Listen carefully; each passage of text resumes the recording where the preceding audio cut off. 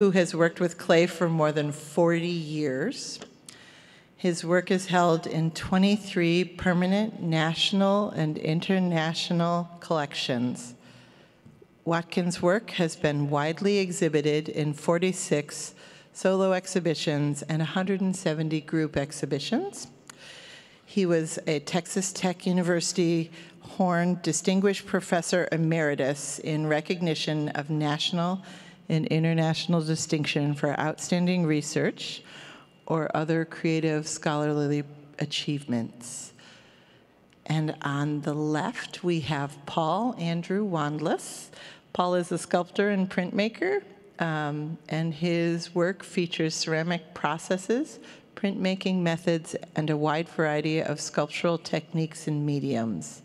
He uses clay, printmaking, stone carving, mold making, leatherworking, metalsmithing, wood carving, and painting, in combination or individually for creative of his narrative works. Please join me in giving a warm welcome to Paul and James.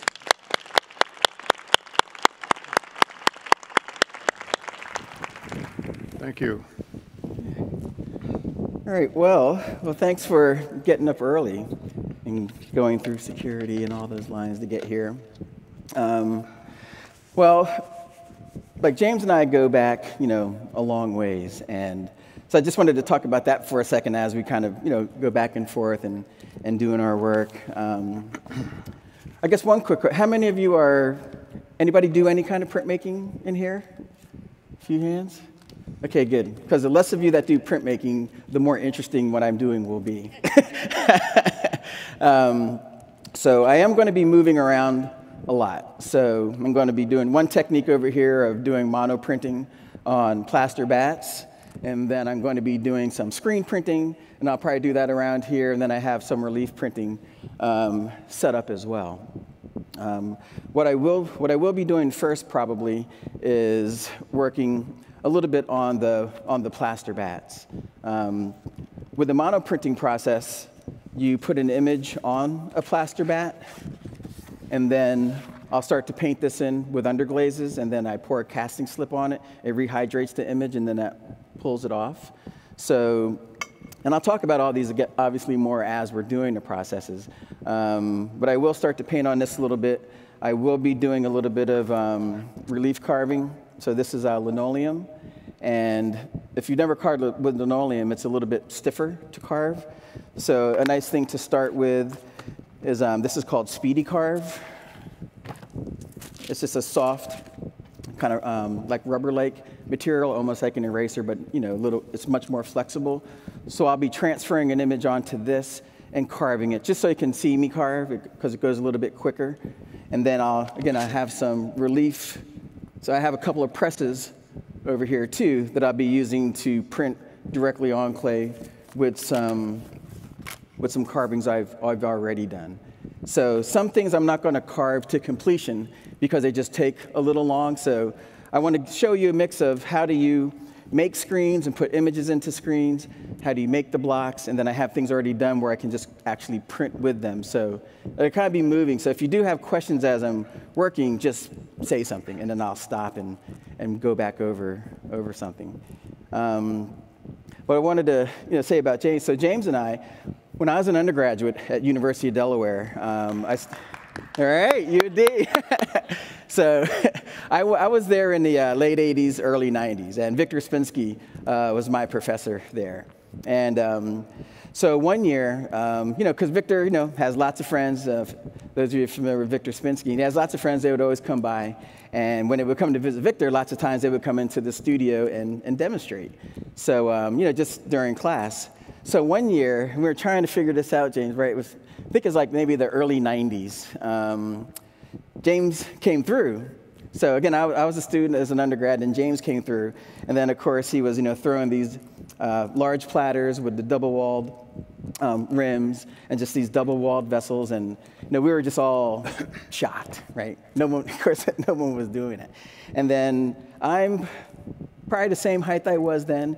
And so James, you know, just coming up to James, I'm, I'm talking up you know, all the time. So it was just, it was just a, an incredible experience when he was there. And then when James left, uh, we were all trying to throw double-walled vessels, trying to throw great, great big platters, and um, and we weren't doing very well at it. Right? It didn't look as easy as as, as it looked like what James was just throwing these very large forms like with ease. And Victor was like, um, He's like, well, the reason that James's pots are so big is because James is big. So have you seen his hands? He goes, his pots are proportional to him. he goes, so you're not going to be able to throw that big with that much ease, and you know you have to kind of find your own find your own groove with things when you're first starting out, and then and then make them bigger. Um, but that was an important visit too, because at University of Delaware, um, you know, like many find ourselves. I mean, I was the only African American, you know, black student in in almost the whole art department, let alone clay. So for James to come through, for me to see someone who was successful, looked like me, doing something that I was hoping to get into, um, you know, that's just very inspiring to me. It, it let me know that there, there was a path for me, and that path could lead to success because James was there as an example of, you know, because he's, you know, teaching at Texas Tech already and already had accomplished quite a bit. So for me, it was an example of, okay, I, I can maybe do this. So, so I just always, you know, wanted to say that. And then we've been, you know, friends for a long time now, and because um, we've had some, know, our lives have overlapped quite a bit with projects that we've done and things. But he's always been a, a good friend and a, you know, you know, started as a good mentor and then became a good friend. And um, so it was real, like, it was very cool to be asked to do this. But then when I knew James was going to be doing it, then that kind of made it special uh, for me. So so I just want to say, you know, it's going to be a lot of fun. It's going to be fun to be up here working with James, and um, not just half. you know, anyone who knows me knows I can talk three hours without doing anything. So I'll go ahead and, I'll go ahead and stop now and well, let James go. uh, tell him about the book deal. so, so some people, you know, might, so James and I wrote a book, I guess it was in 2014-ish. It came out, Alternative Kilns and Firing Techniques. And I was on a board of directors then for NCECA. And Suzanne uh, she was the editor at the time for Lark Books.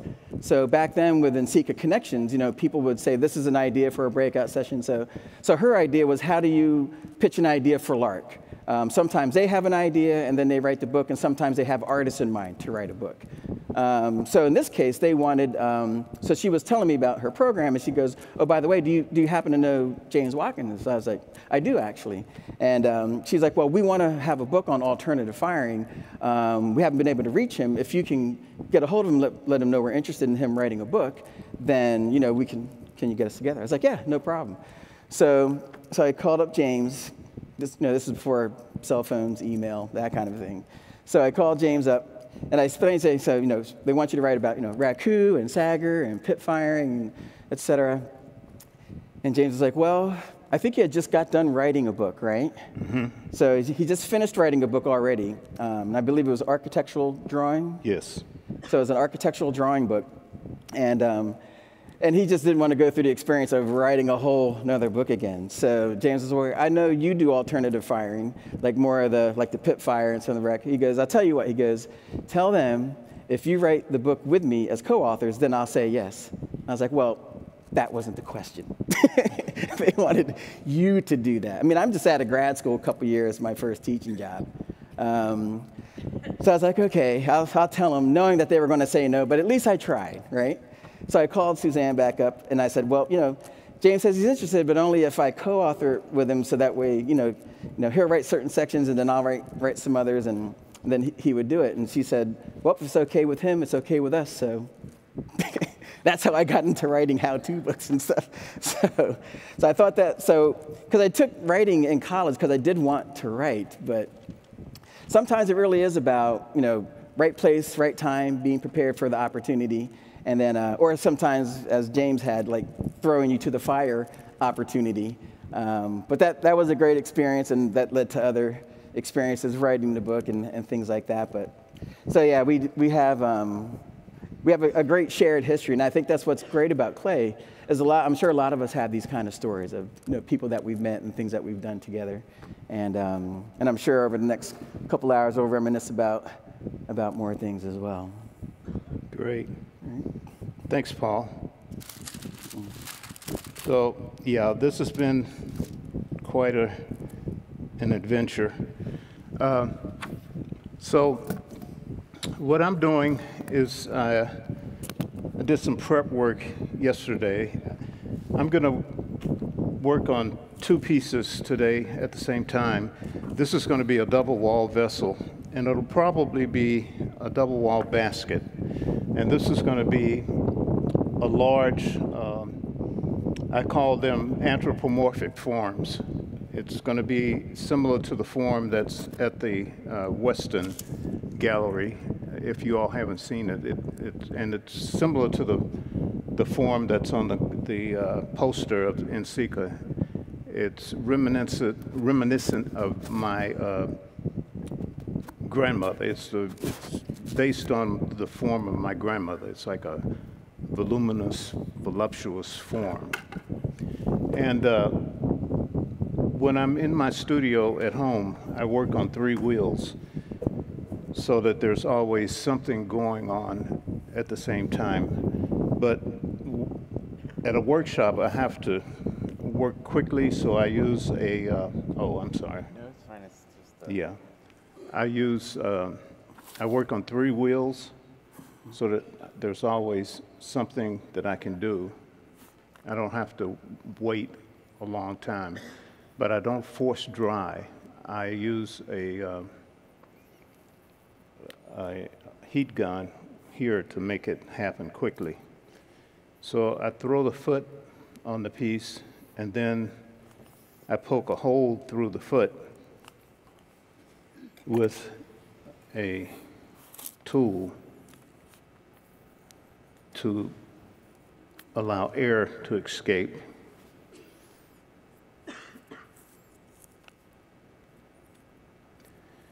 But I want to tell a story of how I got interested in clay and art. Um, I give credit to my mother and my grandmother for my interest in art. Um, my earliest memory is looking at a portrait of my great great grandmother that was at my grandmother's house. It was hanging on the wall, and my grandmother would give me old calendars.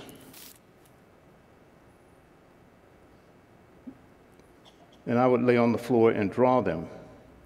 Then, when I went to elementary school, we did our lessons on Big Chief tablets. And I would fill up a Big Chief tablet every week with drawings of boots, cowboy hats, and rifles. And my mother would scold me for having to buy a new Big Chief tablet every week. And one day my grandmother was there and she observed my mother scolding me. And she said, Don't fuss at him. One day he's going to be an artist. She said, I'll buy his Big Chief tablets. So she would buy me a case of Big Chief tablets, and I felt empowered. And from that moment on, I knew I was going to be an artist. And I never wanted to be anything else. And my mother started encouraging me, and she would collect magazines that had the Draw Me advertisements in them. Anybody remember those? Yeah. So I would do the drawings, and she would critique my work. She didn't know anything about art, but she would tell me that the eyes were too close together, or the, you know, the nose needed to be done more uh, correctly, and I would go back and do it again. And then one day I came home from school, and there was a Caucasian man in the living room with a briefcase and a portfolio. I didn't know what a portfolio was. I was 15, and they were all looking at me very strangely. And I thought I'd been caught doing something naughty. So, and he was there to take me away. But he had drawings that my mother had sent to the contest, and I was allowed to take a correspondence course. But what that meant was that my father, who was a farmer, had to pay $20 a month for me to take the course. And I have uh, five brothers and sisters. There's six of us. So that was a, a big commitment. But he did it. And so I took that as a, an act of loving support. And then when I graduated from high school, I had a portfolio and I went to a community college because we couldn't afford to go to a regular college. And when I took classes, I took 2D classes mainly, drawing and ceramics and, you know, the, the normal college prep courses and, you know, academic courses. And there was a ceramic course that was occurring on the opposite side of one of my 2D classes. And I went in one day, and all the students were working on the wheel, and they were helping each other and mixing clay and firing the kiln, and they were cleaning brick that they had salvaged. They were going to build a new kiln. They were helping each other. And coming from a farming family, I was uh, attracted to the co communal activity because that's what we did in the farming community. And I asked uh, one of the students if I could make something, and he said, Go away, you're bothering me. So I knew that I could make him mad, so I said, Well, you know, anybody can do that. I said, I bet you a dollar I can make a pot. So I got on the wheel and I made this short, dumpy, ugly little pot. But I was, a, I was hooked from that moment on. So I kept going to, over and cutting my class, and I made pots. And finally, my instructor, he said, Are you in my class or in the clay class? So I had to make a decision. And I dropped his class and I took clay. And then uh, I was so enthralled with making pots that I would come to the studio at night and make pots and uh, crawl through the window, you know, to get into the studio. And my instructor, he said that he would come at night to make pots and he would see me and he would go home. And then he finally came to me and he said, James, I know what you're doing. I'm going to give you a key and make you my assistant so you don't get in trouble.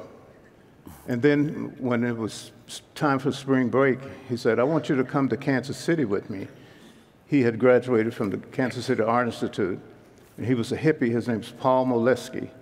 He taught at Onondaga College in, uh, in Syracuse for many, many years. He just recently retired. And he said, uh, I want you to go to Kansas City with me, meet Ken Ferguson. I didn't know who Ken Ferguson was. I was 18, and I said, Well, you know, I have to ask my mother and father if I could go. He was a hippie, he had long hair, and he wore, wore uh, bell bottoms that he split on the side and had uh, bell bottoms uh, with uh, flowers on the side. And he always wore uh, clay on his jeans, like a badge of honor. And I thought, well, as soon as my, and he, he had a 1969 VW bus, so he was classic, you know. So I said, as soon as my mother and father meet him, they're not going to let me go, you know. But I invited them over, and my mother had made a big uh, bowl of popcorn for the, my five siblings. He laid on, got on the floor and ate popcorn with my brothers and sisters, and told them all about the Art Institute. And uh, they thought he was a nice guy, and they let me go. And so I met Ken Ferguson, and that's how I got interested in becoming a teacher and why I'm here. So, what I just did was, thank you. I took this little tool and I measured so that I would get equal spacing for my feet. And then I poked this hole through. And now I'm going to clean it up and turn it over and start adding a coil to it. Okay, Paul. My turn. Um, so what I'm doing now is, or I guess what I, what I already, already have done is I wanted to transfer an image. And I've never, I've never thought of myself as someone who draws especially well, right? Um, but over a period of time, I kind of found a style that I felt comfortable drawing, and then it finally became to the point where um, I felt okay showing people my drawings. so, because I think that's one of the biggest things. I, when I was young, um, you know, I went to a small school. I grew up in Smyrna, Delaware, which is back then it was maybe, I don't know, 2,000 people lived in the town. It was mostly a farming town. Delaware back then, especially lower Delaware, is mostly, you know, fairly rural and, and, a lot of farming going on. So our high school, when I went, uh, mostly, this was, you know, in the early 80s when I was in high school, um, most people sometimes went to college, but maybe to get like an agricultural degree, you know, and come back and and work on a farm. Or a lot of my friends, um, you know, joined the military. I mean, that's, you know, when, when recruiting happened, like, you know, in the lunchroom. and, um, and then some would just maybe just work locally. So, so I always loved art, and my mom always encouraged it. Um, but it wasn't anything I saw that I was going to actually do. Um, but I like to paint and I like to draw because that's what we had in, in high school. And then eventually, you know, I decided I wanted to, to go to college. So, so when I went to college, um, I was a little bit older in life. You know, I was in maybe my, I don't know, like maybe early 20s. Because I did what everyone else does, is right after school, um, you know, I went and I was like, well, what will I do? I was like, criminal justice. So I went for criminal justice because then I thought I could maybe be a state police officer or something. I went for a semester, went about halfway through the semester, and I decided I didn't want to do that, and I didn't want to go to college at all. So I just stopped going to classes, right? classic, because I didn't think I was going to ever go again. Um, so of course that you know ruined my GPA. But um, but over the next couple of years, um, you know, first my, my parents had died. I was adopted when I was young, so they were older when I was adopted. So they were in their 60s when I was adopted, and then a, year later, um, my brother was adopted. Um, but because they passed away and I was just maybe like 19 when it happened, um, it kind of showed me how short life was and I said, I do want to go to college, but if I do go and I have to pay for it myself, um, I want to go for something I want to do. So I said, well, I'm going to just take art classes. So I still lived in Smyrna, um, which is about 45 minutes south of Newark, Delaware, where um, University of Delaware was.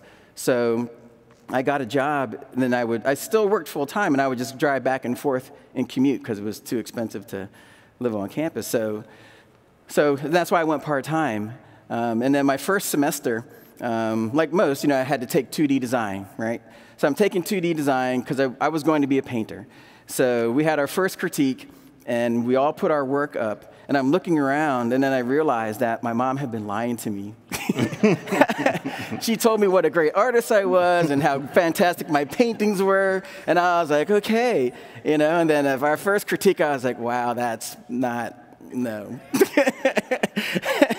so I was like, I'm going to have to really work hard to make my dream of, you know, being a painter come alive here.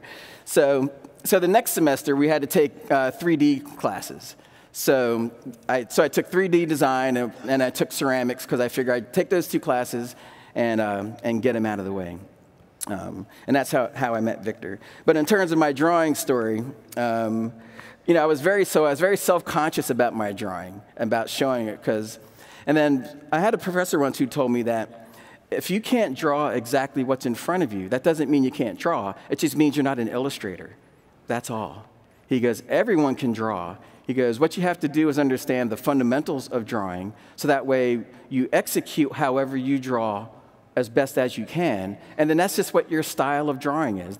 What, the way that you draw being different from others is what makes it unique. So, you know, instead of you know, being, I guess, self conscious about how you draw. He was just like, embrace how you draw because that, that's who you are.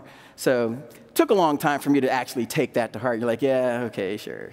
Um, being nice. um, but, but it is true. So it took me, it took me a while to figure that out. Um, but I still, still didn't figure that out in undergrad school. Um, the reason I got into clay, and you're saying my stories don't, they're not linear. Um, so when I took clay, uh, you know, Victor was my professor, and uh, Victor Spinski. So at the end of the semester, because you know, I was just all ready to you know, jump into like painting one and drawing one after that semester. Uh, but Victor, um, at the end, he said, "Hey, um, are you going to sign up for for ceramics too?" I was like, "I don't know. I hadn't thought about that." Because um, I picked up the wheel really fast. Because um, I, I worked construction, you know, when I was in high school, things like that. And like sculpturally, you know, I already knew how to use tools. It's just a different application of tools to work sculpturally. So he's like, no, I think, I think um, he goes, you, you, should take ceramics too. Um, now, he was the first professor to ask me back. so, because typically, you know, I had a 2D professor who was like, enjoyed having you in class, you know, good luck in whatever you decide to do. so I, I, didn't take the hint. but uh, so Victor was the first one to say, hey, come on back. And, you know, my sculpture prof- professor, Joe Moss, was like, you taking another class. So I was like, I'm going to go over here where, you know, they told me to come back. Um, and now Victor, if you're not familiar with Victor, you know, a lot of what I do with screening and things that, you know, he made, um, you know, he was one of the people who led the Trompe l'oeil movement in ceramics. And um, so when I was introduced to ceramics, he had a room that he did four color separation to make his ceramic decals. Um, so I just thought that was normal to do screen printing as part of your process. And then, of course, he was a master mold maker because he made all of his molds to cast his work. So I just thought that was normal. Um, you know, he did alternative fine. So, you know, he did everything. So I just thought that was normal. And the way that Victor taught, um, he didn't want anybody just to know one thing. He said, you know, as you go through the curriculum, you should know all of these things so that way you can decide what you want to do. He goes, What you're doing in school now may not be what you do three years from now. So if you don't learn these other skills, then you don't, you're not going to know where, where to take, take your work potentially. So, so I learned a lot from Victor um, as well about just trying to broaden the different things. So, so relief is one of the things I like the best. It's, it's a kind of a physical activity. You know, I like the tactile uh, nature of it. And I was talking about the, uh, the lino cuts. Um, has anyone carved linoleum before? A few? Okay. Not fun, right, sometimes? So linoleum, it's a little bit stiff. It's a stiff substrate. Um, you can take a heat gun and kind of warm it up a little bit to make a carve, but the best way to carve linoleum is to just buy better gouges, right? that's, that's the trick. Um, I'll do a little bit of carving um, in a minute, but so, I mean, I'm sure a lot of you are familiar with these, uh, with these speedball gouges, right? These are the common gouges that we all get. And these work really fine. Um, but you also sometimes need, these are uh, Flexcut. Um, if any of you, anybody do any wood carving or familiar with wood tools? Okay, good. So with wood carving, like Flexcut is, um, they make a lot of different knives and gouges. So, so this is Flexcut, but they do make a, a wood cut. Uh, these are, they just call them wood gouges, but they, you can use these for um, carving wood blocks. But these are um, things that you can sharpen, you know, you can kind of wet sand them. So these are very, very sharp. So these cut through linoleum like butter. So, so sometimes it's just, and this isn't super expensive, maybe like 65 bucks, and it comes with a nice kit and a handful of blades, and you can get even more. Uh, but they, they're similar to Speedball, where you do have the one handle that you can put these in. So, but the tips, the gouge tips are a little bit different. So that's why I use both. I mean, they, they both have a good use. Um, but if you do get into linoleum, I would say, you know, certainly start with the speedball ones because they're less expensive and they work really well. But if you're carving something big and you, and you have a lot of work to do, then like anything, first test with something that's more of a modest cost. And if it's something you're really interested, then go ahead and invest in the tool that, you know, the tool that you only have to buy once, you know, after that. So with that being said, this, um, I have a lot of speedball stuff because I'm doing a lot of printmaking, and they, and they kind of specialize in a lot of like relief and screening, and that's, you know, that, that's my backyard. So this, this is called Speedy Carve, and um, so this is nice and soft, and this carves like butter. So if you've never carved before and you just want to learn how to carve, then this is really good to start with. Just use the regular gouges because that way you get used to the tools. And then once you get used to the tools, when you start carving on linoleum, then you're just getting used to the material, right? Because you already know what the tools will do and the kind of marks that they'll make. So, so with this process, and I, I don't know, were, were, were you able to see how I transferred this? So the nice thing about this is that um, you don't need to draw directly on there. If you just draw on a piece of um, tracing paper, and then you just take the tracing paper on the side that you drew, and this was an HB, so it's not even a very dark pencil. Don't do too dark of a pencil, like a HB or a B or even a 2B. Once you get to 3B and darker, then it just smears a lot. So, so HB or 2B, make whatever drawing you want that you want to carve, and then put it face down, and you just simply rub the back and then that just rubs the graphite you know, onto the surface. So it's a really nice way to transfer the image. Um, and it gives you plenty of time to work and rework your drawing in terms of getting it right. Now, when you do relief print, now, this is just like a stamp, right? So the way that it looks now, when you print it, it reverses the image. So the other nice thing about you know, working on, on tracing paper is that you can go ahead and draw this um, the orientation that you need it to be. So then that way, when you rub it on there, you know when you print it, it's going to be facing the side that you want. I never care, right? I just, um, I, I always like, if I draw a profile, it's typically going to be looking this direction. That, that's just what I do. Trying to draw it the other way and then trace it and then flip it, that's just too much work. So, and I like how the process changes my image. I don't want to have full control over what I'm doing. So I, I enjoy how everything translates. So I just draw how I draw naturally, because as I mentioned before, if I try to draw unnaturally, it's not going to work out that well. So I draw as best as I can, and then, and then I just appropriate myself over and over and over. So, um, so I'll make an image, I'll trace it, but then I'll carve this a lot. So I have a couple different versions of this where you know, the, the face is a little bit closer to the edge, but then I wanted to have, you know, more hair going back. So um, since I have my image, I can just redraw it again.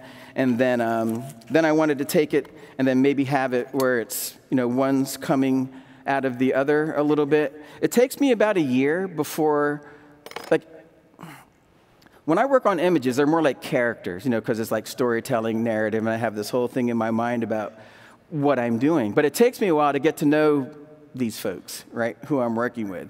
And that's where I do a lot of writing as well, because sometimes I'll do some writing, I'll write a short story or a narrative, and then these are some of the characters that come out of it, but they're kind of like metaphors for people. Sometimes it's me, sometimes it's you know, friends, sometimes it's a compilation of things, but they all have meaning to me because the more that it means to me, then the more nuanced and detailed I can be with what I'm doing. I'm not just making something up. So that's why, and that's just how I need to work as a, as a storyteller. Um, but it's all metaphor for bigger things. Um, but I do have to have it rooted uh, for me. So, so sometimes I'll need to make this into a screen, uh, make it into a print, um, so I can do it with Lino and do it over and over until I finally figure out, well, this is how I want to use this image. Um, rarely do I draw something, carve it, and then it becomes a piece right away. Uh, normally, it, it, takes a while, and it kind of gets worked in, worked into things. Um, so, it's a, so it's a slow process creatively in a sense of when I'm developing new images. Um, but for me, it's always discovery and doing that. So, so that's what these three things are. I did a quick carve last night just to see. I don't carve super fast, and uh, it can be a bit like grass growing, so I wanted to see how fast I could carve this last night in the hotel. So, uh, so it didn't take me too long. It's just a quick initial carve. And again, this is going to be a kind of like a, cooking show kind of a thing where I can show you the different stages where hopefully it, it makes some sense. So, and as I'm talking about things, if I start on a topic and I end up on a topic that's way out there, I might need to be reminded where I started to get back to, to answer what you actually asked me. so, um, so what I'll be doing now is um, I'll probably proof this to see how it looks. And then I will go ahead and, since I've talked about these tools, um, I'll start to like slowly carve like just one half of this, just so you can kind of see the process and, and see some of the tools that I'm using. And I'll also carve on this one a little bit too. So I'm not going to take either to completion, but I'll do a little bit of carving, you know, just so you can see that process. Um, the other thing I'm going to do is um, finish I'm just doing a little bit of drawing on here. I already screened an image on here, um, so that way I can draw the background in. Uh, so for monoprinting, this is a plaster bat, and you have, you know, you weigh the plaster in the water and you cast it, because this is mold making. So when you put casting slip on here, the plaster is going to uh, wick the water out of it. So that's why it needs to be, um, you need to weigh it out. She weigh it out anyway, right? So that's something from Victor, you know, working with Victor. You owe, he goes, it take five extra minutes to weigh it out, and then your molds will last for a decade. If you skip that, it'll last for like months. So he's, uh, he's very, he's very, uh, he, he's very technical, so that, that's where I, I kind of get that from. So with this, um, you kind of work from foreground to background.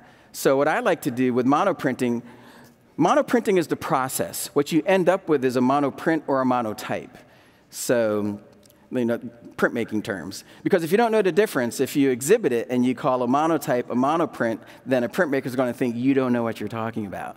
So just like, like with us, if someone looks at something and they say, oh, that's really nice stoneware, and we're like, that's porcelain.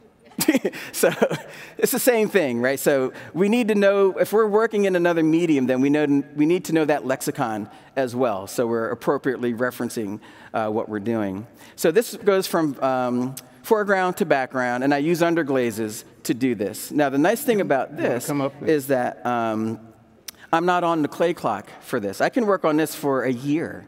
Until I pour it with um, casting slip, you know, it's, it's perfectly fine. So once I have an image on here, and I printed this image on here with a screen, and I'll, I'll, i can maybe print it again later, then I start to draw in the rest.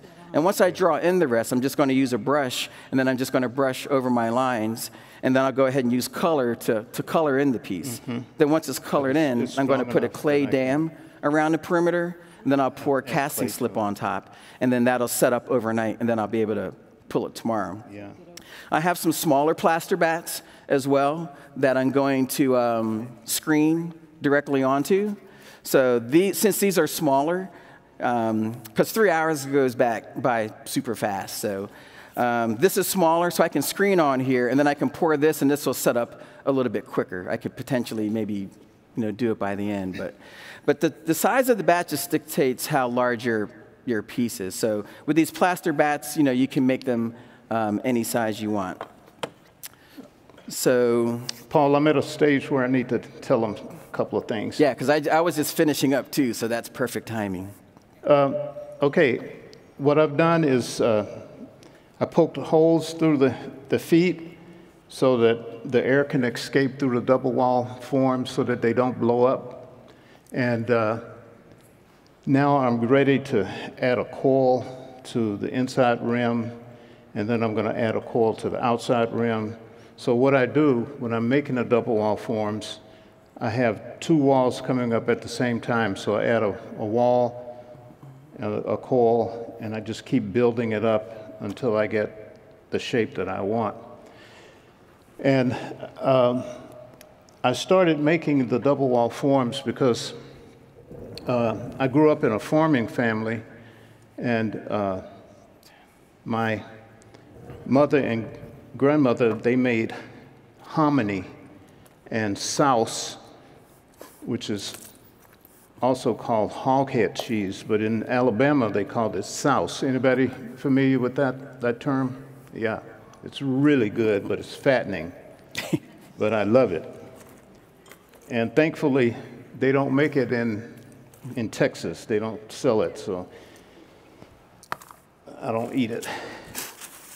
But uh, and they also made uh, something called chicharrones. That's what they call it in, in uh, Spanish. So my job as a kid was to keep the fire burning, hot around the pot. And that was a big challenge. And I was very proud to be able to, to keep the fire burning. And they washed clothes in the cast iron pots. And once a year, they would boil all of the beddings to get the mice out. And so when I started making pots, I wanted to make these big pots, big bowls. But they would warp in the kiln uh, because I wanted them on tripod feet or feet of four. And um, I tried making them real thick at the rim, and I tried making them upside down, but that nothing would work. And one night I had a, a lucid dream. I dreamt that I was in Santa Fe, and I came to a gallery that had big pots, and they were real thick looking. Hi, Vince City, I see you back there. Uh, and so um, it was as if I didn't get the message, and I bumped into the window, and I reached out and I touched the pot and saw that it was double wall.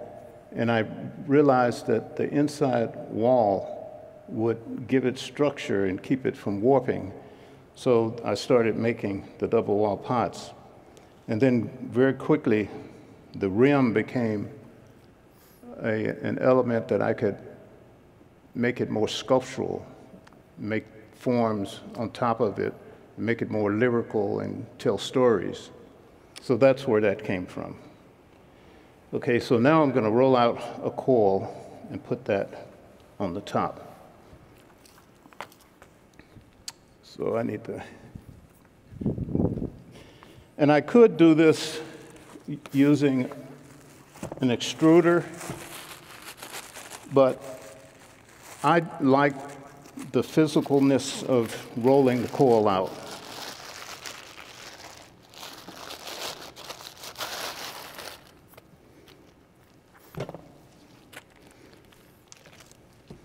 Okay. We have to be very careful up here because it's covered with plastic and it's very slippery. Mm-hmm. okay, Paul. I have to talk again? Yep. I'm hard to stop. You got to cut me. um, all right, so what I'm doing now is um, mm, if you have there's, some. There's a couple. the other thing about you know what I was talking about drawing, um, carving's the same way. Um, some of you who some of you raise your hands that you have done a little bit of carving. So you can see this is going pretty easy. Um, you don't want to have your hand in front of you because um, it can skip and it, you can stab yourself. Um, typically, the two most common injuries in, in art departments are X-Acto knives and, and gouges, right?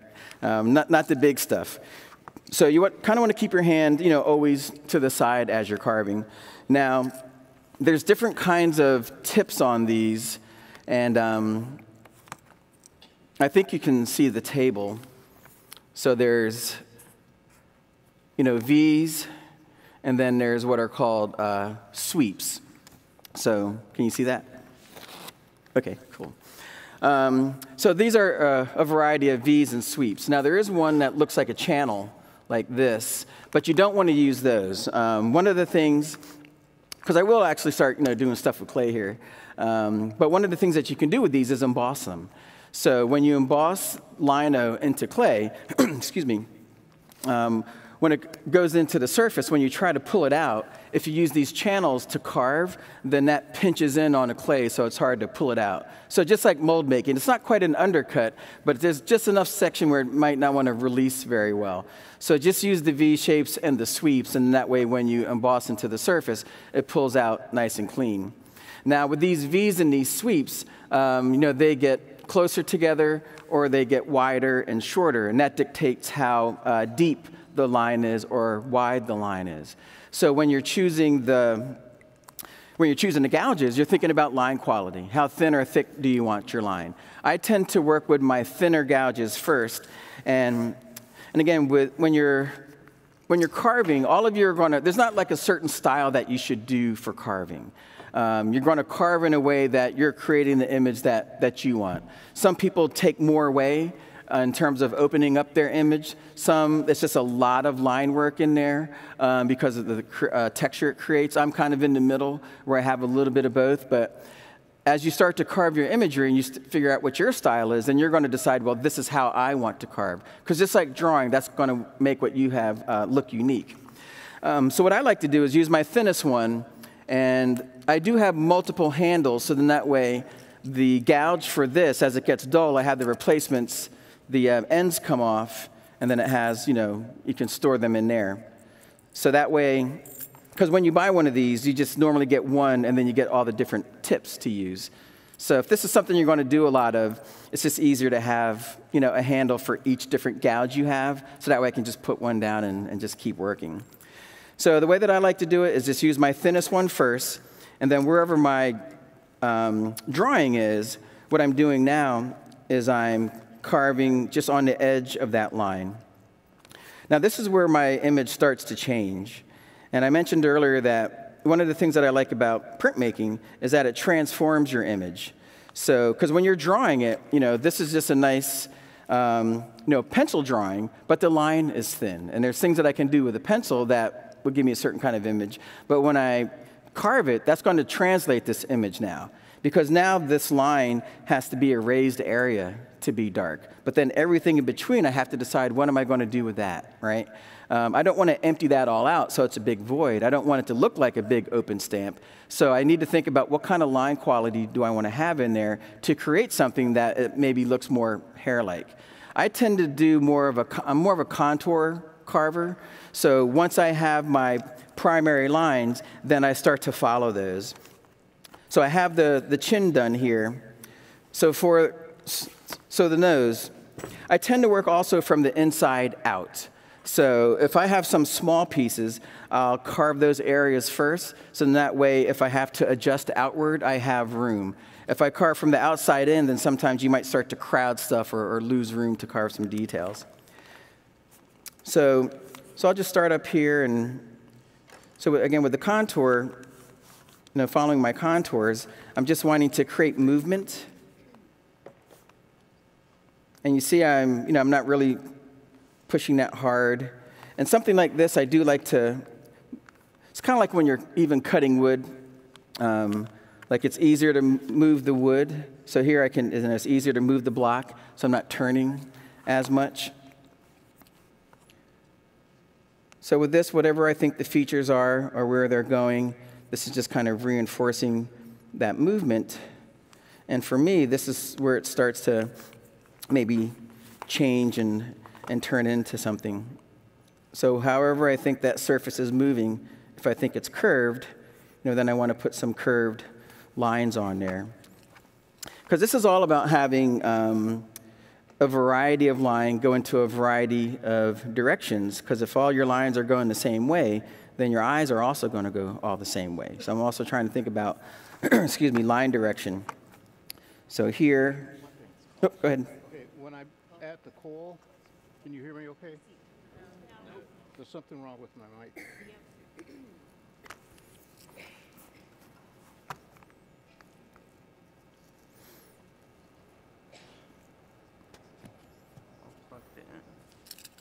One. Okay. Uh, when I add the coil, I cut it at a diagonal. And I don't have to score it. I just put slip on both sides and kind of smush it together like that, and I don't get air bubbles. Okay, that's all.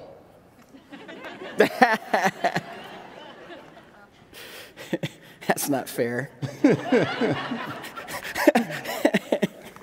Thought we were going to go back equal time.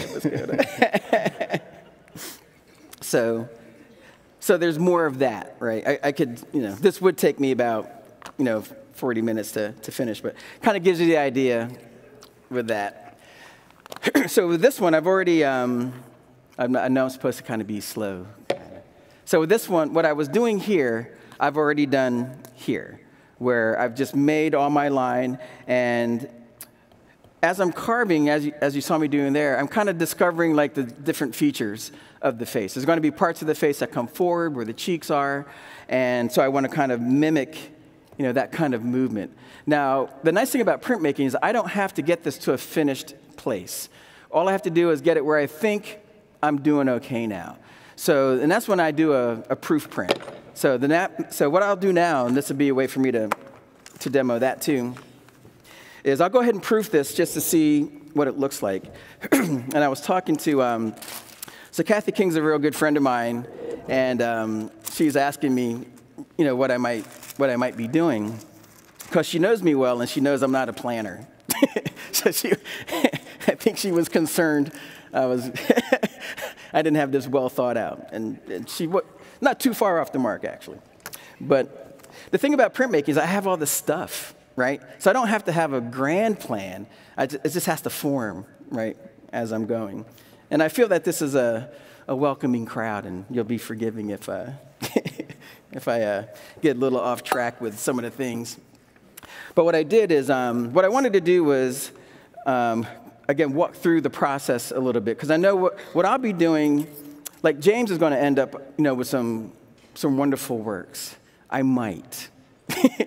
Because mine is a little bit more technique driven, where um, I'm, I'm showing you all these steps and all these techniques, and they will make things, but I'm not actually making a piece on purpose.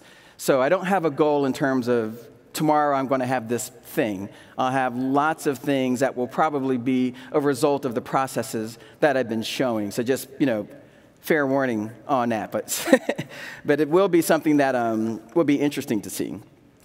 So I'm going to um, use some newsprint.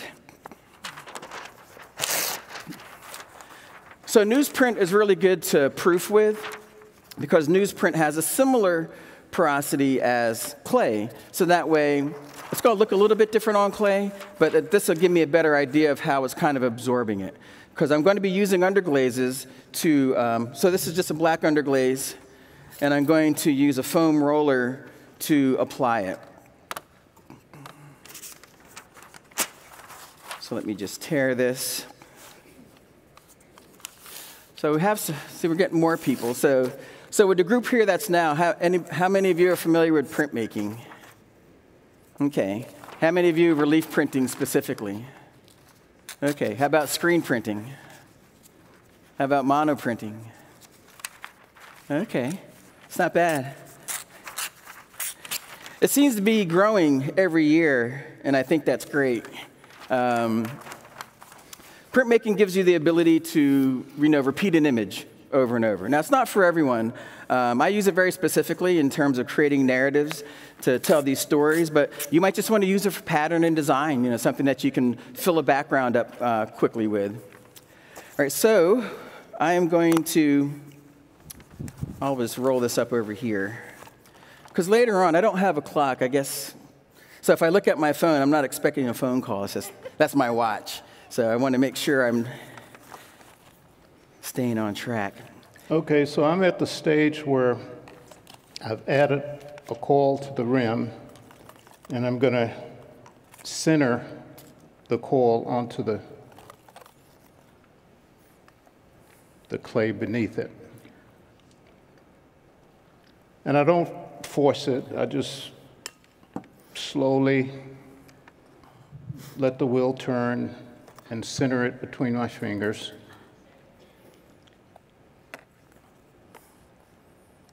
Excuse me. Um, yes, yes. I'd like to ask a question. On the, your inside, did you throw that or um, separately, or did you sort of start it like as a, a donut? I started it like a donut. Okay. Yes. So I, Thank you. I centered a, a big piece of clay, and then I split it at the, Okay. at the wall and made two pieces and pulled it up like a donut. Thank you. Yep. So you can see that it's slowly beginning to center now.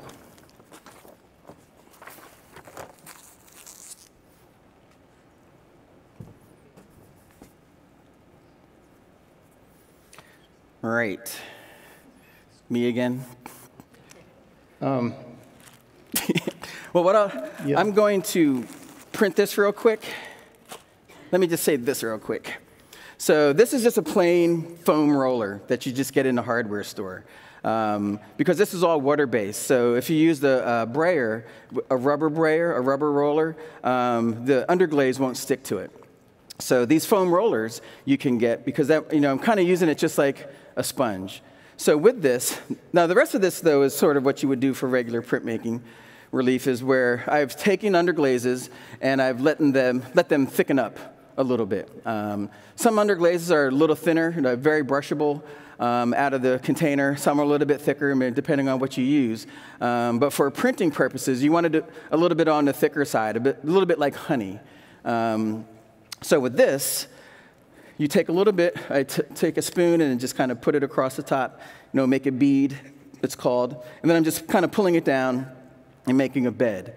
So I've already had this all loaded up. And then what I'm trying to do is the way that the bed looks is how your roller should look. So if I have too much underglaze on the surface, then I'm going to have a lot of underglaze on my roller. So that means when I roll this up, it's going to over it's going to overdo it. So so I don't need a lot. So I'm just pulling it down. So when I have this, um, I think you can can you see this? I guess probably see it well enough. Um, it's absorbed into there, but I don't have anything like physically sitting on the surface. So that's what I'm trying to avoid. Now I'm going to print this, I'm going to print this two different ways actually. Um, so this is a baren, and which is the, you know, the more common tool. So I'm going to print it with a baren because it's small. So when I'm doing this, you're not trying to get it all in one pass.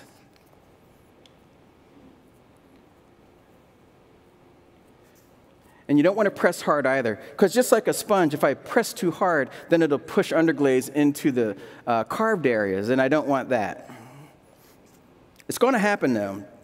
The thing about printmaking is that you have to do a lot of proofs. It, almost never works the first time, um, which is good. You know, because when I'm demonstrating, then I can just blame it on the process. So I'm not doing the whole thing because I still have carving to do. So once I have a nice layer on here, and I think, I don't know what, can you guys? Oh, there you go. So once you have a nice layer on here, I'll rotate it this way. So I'm just not sure what that looks like. Okay, so it's a little shiny, and that's what you want. If it was kind of dry, that meant that there's not enough material there to actually transfer. Again, I don't want a lot on there, but if there's a little shine on there, a little sheen, then I know there's enough. So when I'm proofing, i will take the paper and I'll just put it on top. And typically, I don't want to drop it flat on just in case I don't drop it perfectly. It's kind of just always having an, edge on the surface and just let it lay down. And then just lightly rub it.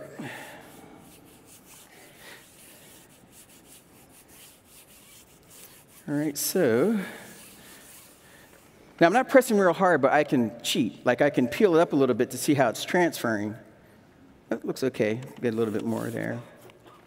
So, so not too bad in terms of a, of a proof.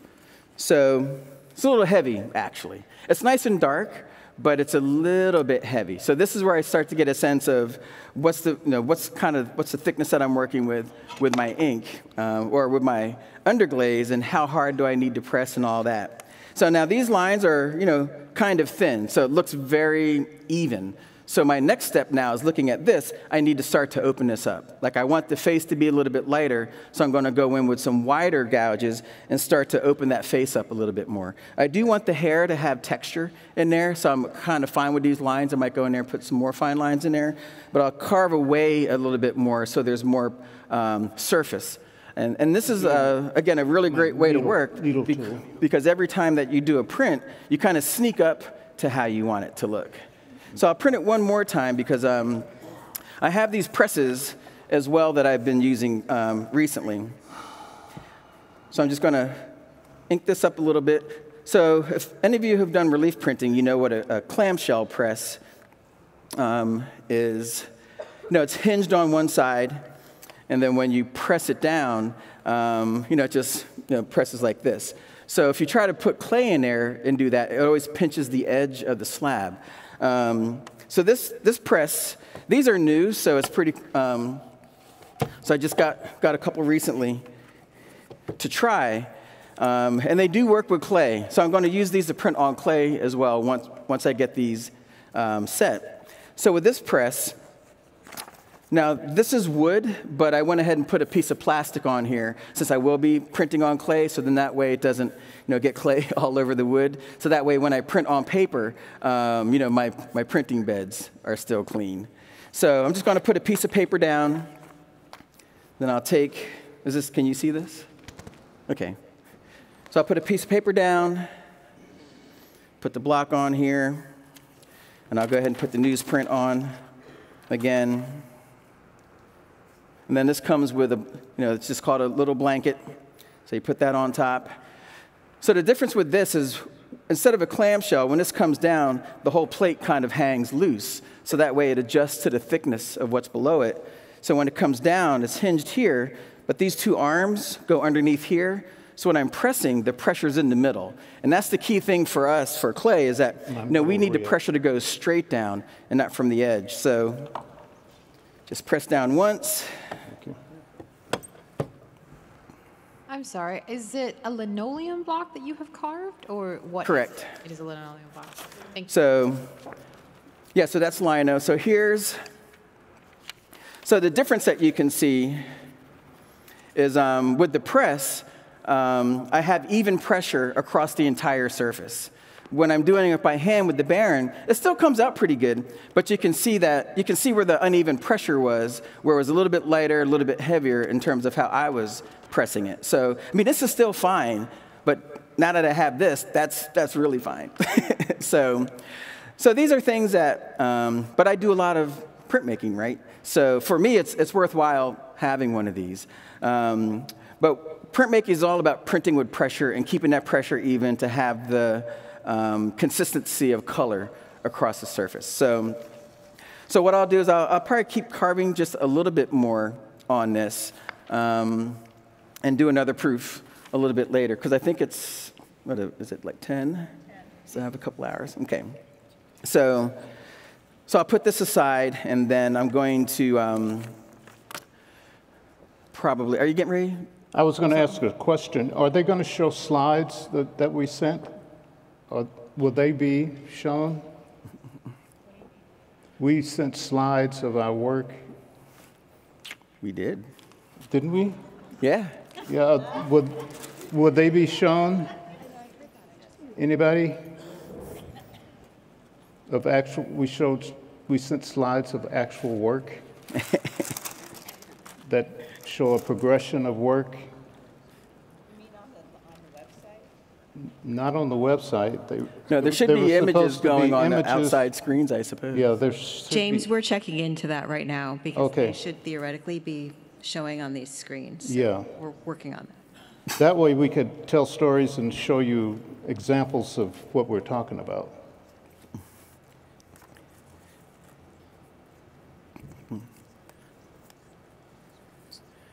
So were you getting ready to say something, James? Um, I'm going to add another call to the outside rim. Um, my, uh, I give credit to my, my parents for my interest in, in, you know, spirituality and creativity.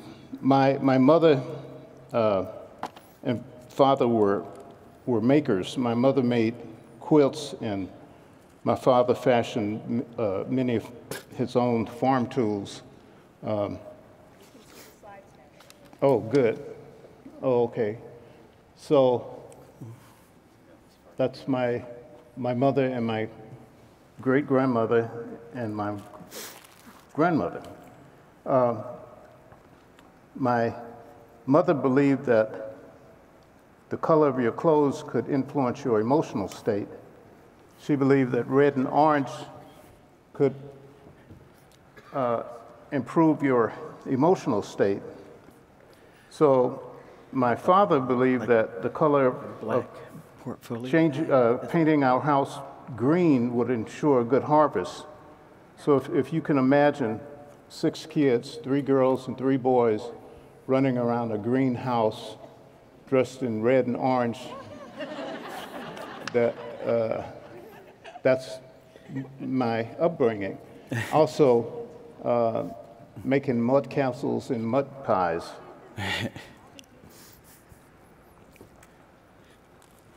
So it was really an exciting time growing up, You can just lean in against there. and especially uh, during the 60s and 50s in rural Alabama, uh, during the turbulent 50s and 60s. So when I got a chance to go to undergraduate school in Kansas City, it could have been the distance between the moon and the earth, socially, politically, culturally. It was great.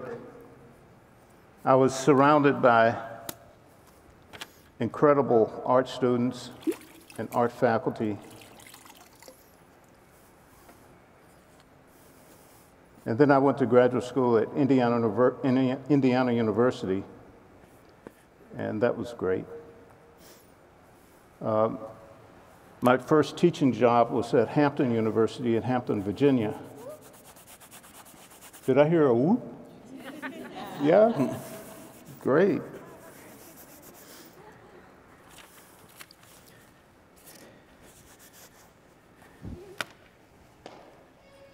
Indiana University.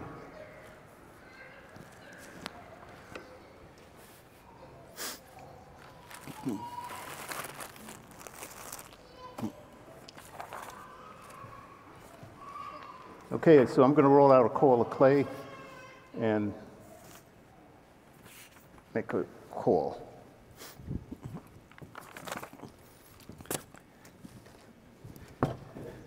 I'm not going to say anything right now. Got to work.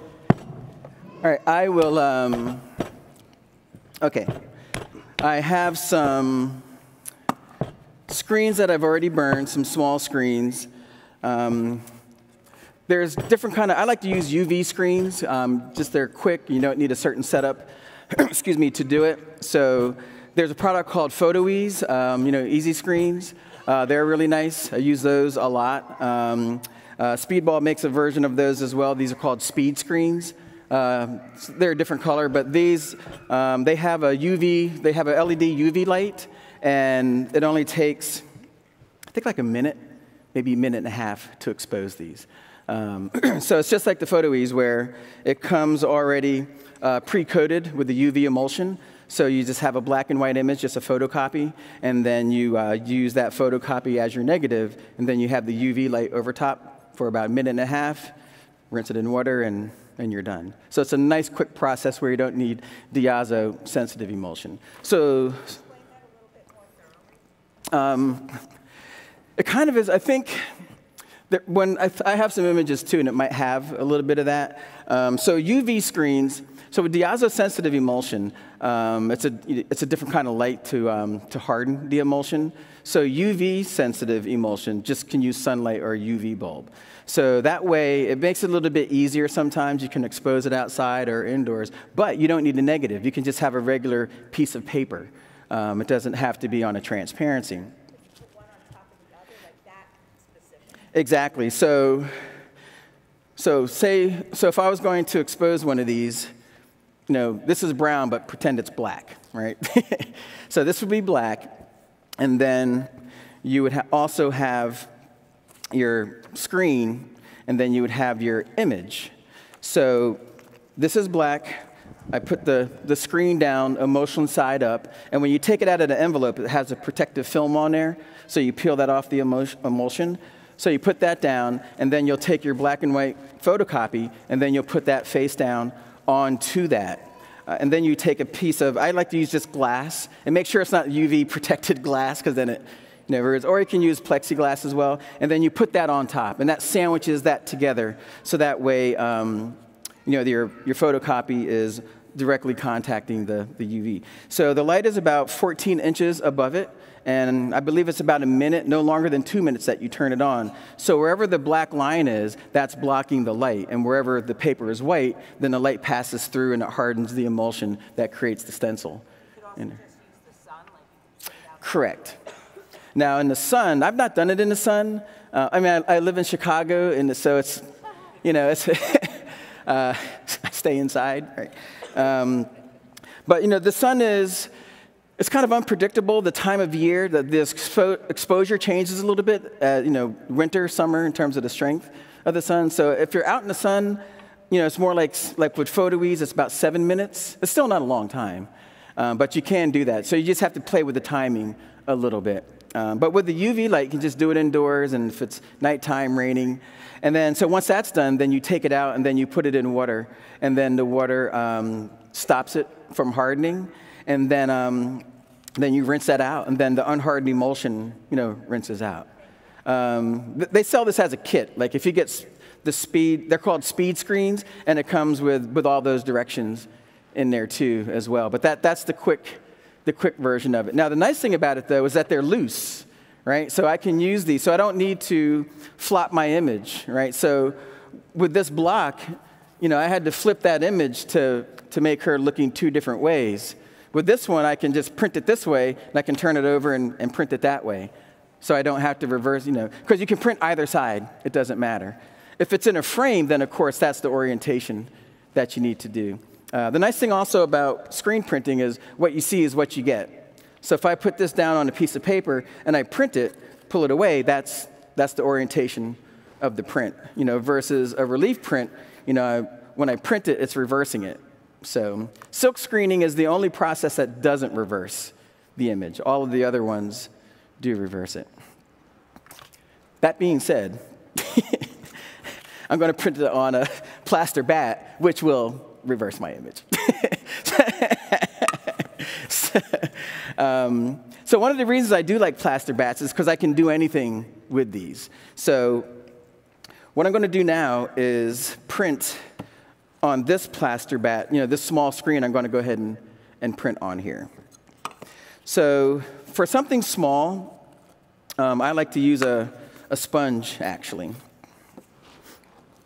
Squeegees are good, but with, with a loose screen, if you use a squeegee, then it moves around a lot. Now, you can you know, tape these up and frame them, but um, I mean, I make these loose screens on purpose so then that way I can use them in different ways. And like if I wanted to do it on a vertical surface, you know, anything that I can push that around, you know, I can print directly onto. So with this, let me put a glove on. Now, as you know, underglazes don't hurt your skin or anything, but I want to keep my hand clean. I have a question for James. Uh-huh. Um, the part that you're adding onto now looks kind of like rather thin. How do you keep that heavy coil from, you know, warping it or bending it down? Is it is it drier than it looks? Like when did you throw that? I, I threw that uh, last night, and I uh, oh, I, I, I dried it with a, a, a heat gun, so it's, it's hopefully strong enough not to fall down. Okay. And after I add this coil, I'm going to get Brent to dry it more, so I can add another coil, and I'll work on this piece. Great. To the link that they sent me. Thank you. Uh They sent me. James, could you also talk about how you place the coil? Like, are you centering it right now? And Yes, I'm, I'm centering it on the, the piece beneath it, and then I'm going to uh, slowly turn the wheel and center it and pull it up thanks. And cut off any unevenness.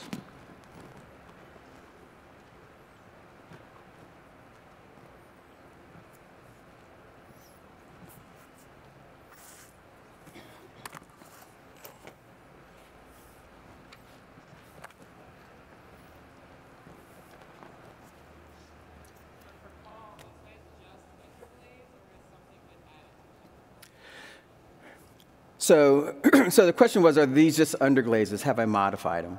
Um, these are just underglazes at the moment.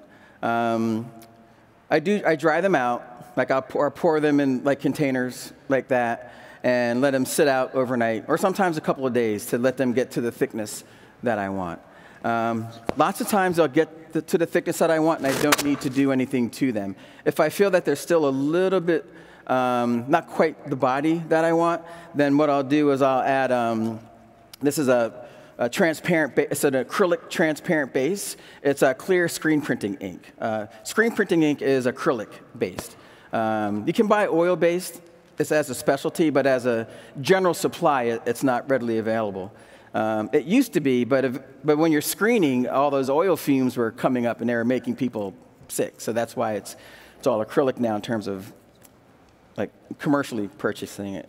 So this just burns out in the kiln. I mean, this doesn't, this doesn't do anything at all to the surface, to the underglazes. You can mix it in glazes, but this, whenever you modify something, then what you're modifying has to be thicker than the modifier. right? So this is kind of like a honey consistency. So if this is, um, you know, thinner than a honey consistency, then that's going to cut this. So I need, to, I need what I'm going to modify to be thicker than what's in this container because I want to bring my underglaze to the viscosity and to the body that this has. So that's why, you know, just let them dry out. You know, um, sometimes I let it get like the consistency of like icing, um, like a whipped icing kind of. And then when you add the transparent base to it, it makes it nice and smooth and it, and it stands up, you know, like a bead as well. Now that's more important for if you're using a squeegee to pull it. So that way, when you have a bead, you have this nice physical, um, like this physical ink to pull across. Since I'm using a sponge to print, um, it doesn't need to be as, as thick. Um, so with these, these are, um, so has anyone printed with a sponge before? Okay. I know it, it sounds unusual, I know, but um, because clay's tricky, right? Even when you smooth the slab out really well, there's sometimes little divots here and there. So if you use a blade to um, print on there, it's only going to print on all the high spots. So sometimes you might have a void or two where the clay might have dipped down. When you're using a sponge, it's going to conform to the surface a bit more, so it kind of helps out with that. Um, so, so this is, um, these are these Mudtools, um, the workhorse sponges. Um, I always use these because these absorb very similar to the foam rollers.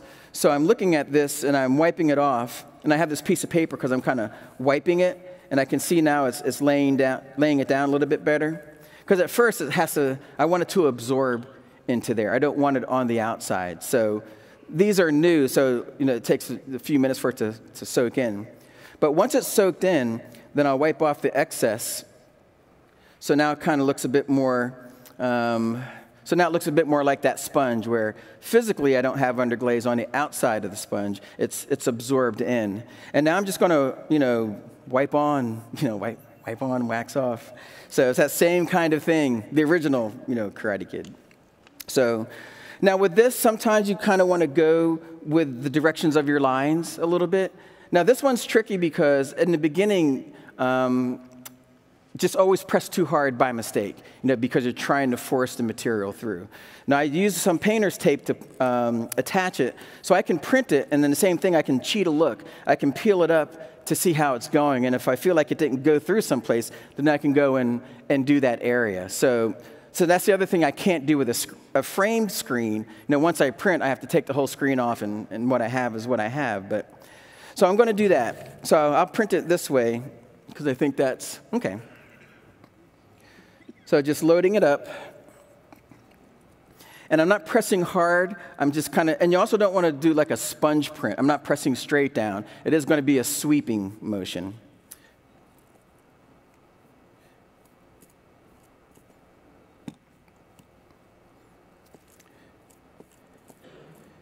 So I just want to make sure I get all the areas. And now, like I said, I'll peel it back to kind of see how it's looking. Whoop. Let me get the edge of the pot there.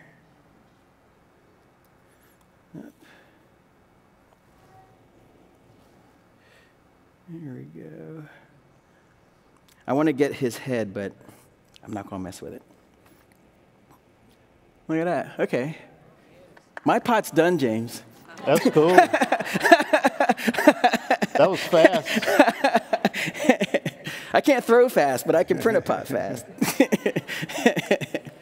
so, um, but that's good. I, you know, when you're printing like this, it's, it's 50-50. I either look like I know what I'm doing or I don't. Um, so I'm glad that worked out. Now, now, now that I'm done with this, um, if this dries in here, it's perfectly fine. I just use a sponge to, to clean it out. Now, same thing, I'll just use a sponge now to clean this out, and then I just have to let it air dry, take about another 10 minutes, and then I can you know, start, start printing again. So, so these are really nice. Um, maybe later on I'll just make a, like a cylinder, like I just hand build a, a cylinder, so that way I can show how to print on a curved surface. Um, I'll have to do that tomorrow, though, because it's going to have to dry out to, to be printable, but um, but that is the advantage of having um, what's called a loose screen, is because whatever surface I can put it around to make contact, then I'm just using a sponge uh, to print it on there. Okay. Okay, so now the other thing I wanted to do, my other goal is to do so much that by noon you're just utterly confused. then you have to come back tomorrow and ask me questions. I have a question right now um, for I'm you, afraid it's Paul. going to go real What's that? fast. once- Can I ask a quick question? Oh, yeah, absolutely. Um, so that was on a plaster bat, right? Correct. Um, but would the idea be that you could actually do the same thing on like a piece of bisque? Correct. Okay, so that's okay. I just want to make sure. Yep. Okay. So, yeah, I would do the exact same thing on bisque, and that's the beauty of it. And you can do that with glaze, too. Um, so, yeah, if that was just a, bisque slab, the process would be exactly the same. Um, now, if it was bisque, and then I could maybe roll a, you know, just like roll an underglaze on there, um, then I could also then just take glaze now, if you make glaze from scratch, then you know do your recipe and then just add water slowly, and because you want it to be on the thick side, and then add the transparent base to it to bring it to the consistency you want. Um, and then you can just do the same thing with glaze. You can just you know print glaze as well. So this isn't restricted just to underglaze. You can print anything. You just have to print the appropriate ceramic material for the firing temperature that you're going. So this has nothing to do with cones or you can fire it any way you want. I mean, I, I mostly fire around, you know, like, like cone two, cone three, and down, but it can be on cone 10. You know, as long as, because all these underglazes go up, you know, to those temperatures. Um, I love doing it with raku as well. You know, I just put like a clear crackle on there and then raku them because it works a bit like a, just a regular clear. Um, really great for soda firing. I mean, soda gives beautiful, you know, pulls out some richness on it. So so with these processes, you're not restricted to, um, like, you can do atmospheric firing, you can do electric firing, gas firing, fire any way you want. It's just use the right clay body and then the right glazes or underglazes. And then this is just merely a tool now to transfer an image or a design to the surface uh, beforehand. Um, so the other thing I'm going to start doing is I have a drawing that I was working on, but I'm not going to use the whole thing. Uh, what I wanted to do is show how to do, um, has, has anyone used drawing fluid and screen filler? Okay, because I love drawing fluid and screen filler. I like, I like processes that have a little bit of immediacy to them. And now this process allows me to have my own drawing style with that. So with this, I just have a, um, just an open screen. And then what I want to do is, I mean, I was going to do the whole thing, but that's just, that's just too much time. So I'm just going to grab this guy. So what I want to do is put this image into this screen. So you can take a drawing, you can take a photocopy, you know, whatever you want your image to be, and then you just put it onto the surface, and then you put your screen over top of it. Because this is the orientation that I want to print um, this character, so that way I have it the way I want to see it. Because remember, with screen printing, what you see is what you get when it's in the frame. So now that I have um, this drawing here, I'm just going to trace the drawing with a pencil so that the pencil drawing is now going to be in my screen. And that's how I, I transfer it there. Now, if you had a photograph um, and you wanted to trace that, so whatever image you have, whatever pattern or design, um, just put it face down onto it. And then, like I said, I'll use a pencil and I'll trace this. When I'm done tracing this, I'm going to use um, drawing fluid because um, when I get done tracing, I'm going to do it right away. So that way, um, you know, if James is you know, talking, you'll know what I'm doing. So this is it's basically, think of like wax resist. So wherever I put the drawing fluid, I'm going to pull screen filler on top. This won't stick to the drawing fluid. Then the screen filler literally fills in the rest of the screen. So wherever I want color to go through the screen, that's where I want to brush this material. Um, takes about 15, 20 minutes for it to dry, and then I just pull the screen filler on. And then as soon as that's dry, which is maybe about 20, 30 minutes, you know, depending on what it's like in here, then it's ready to print. So it's, it's a fairly quick process in terms of you know, getting an image in there and then using it. Um, when it is done, it's going to be, it's going to look like, it's going to look like this. So, so this is the same image as this. I told you I, I appropriate myself. so I drew this image for a bigger piece. And then, but I first worked with the image. So this is done with the screen, with the drawing fluid and screen filler. So where the screen is open, that's where the drawing fluid was, and where it's the, the reddish color, that's, that's the screen filler. So I took the image, you know, put it in Photoshop, reduced it, and then printed it on a piece of paper so that way I could burn it into a speed screen so I could have it loose to do on other things, right?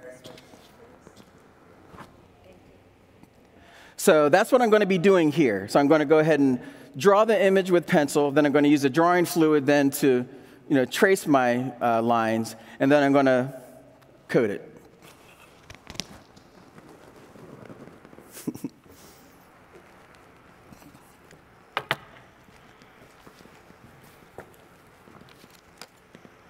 James?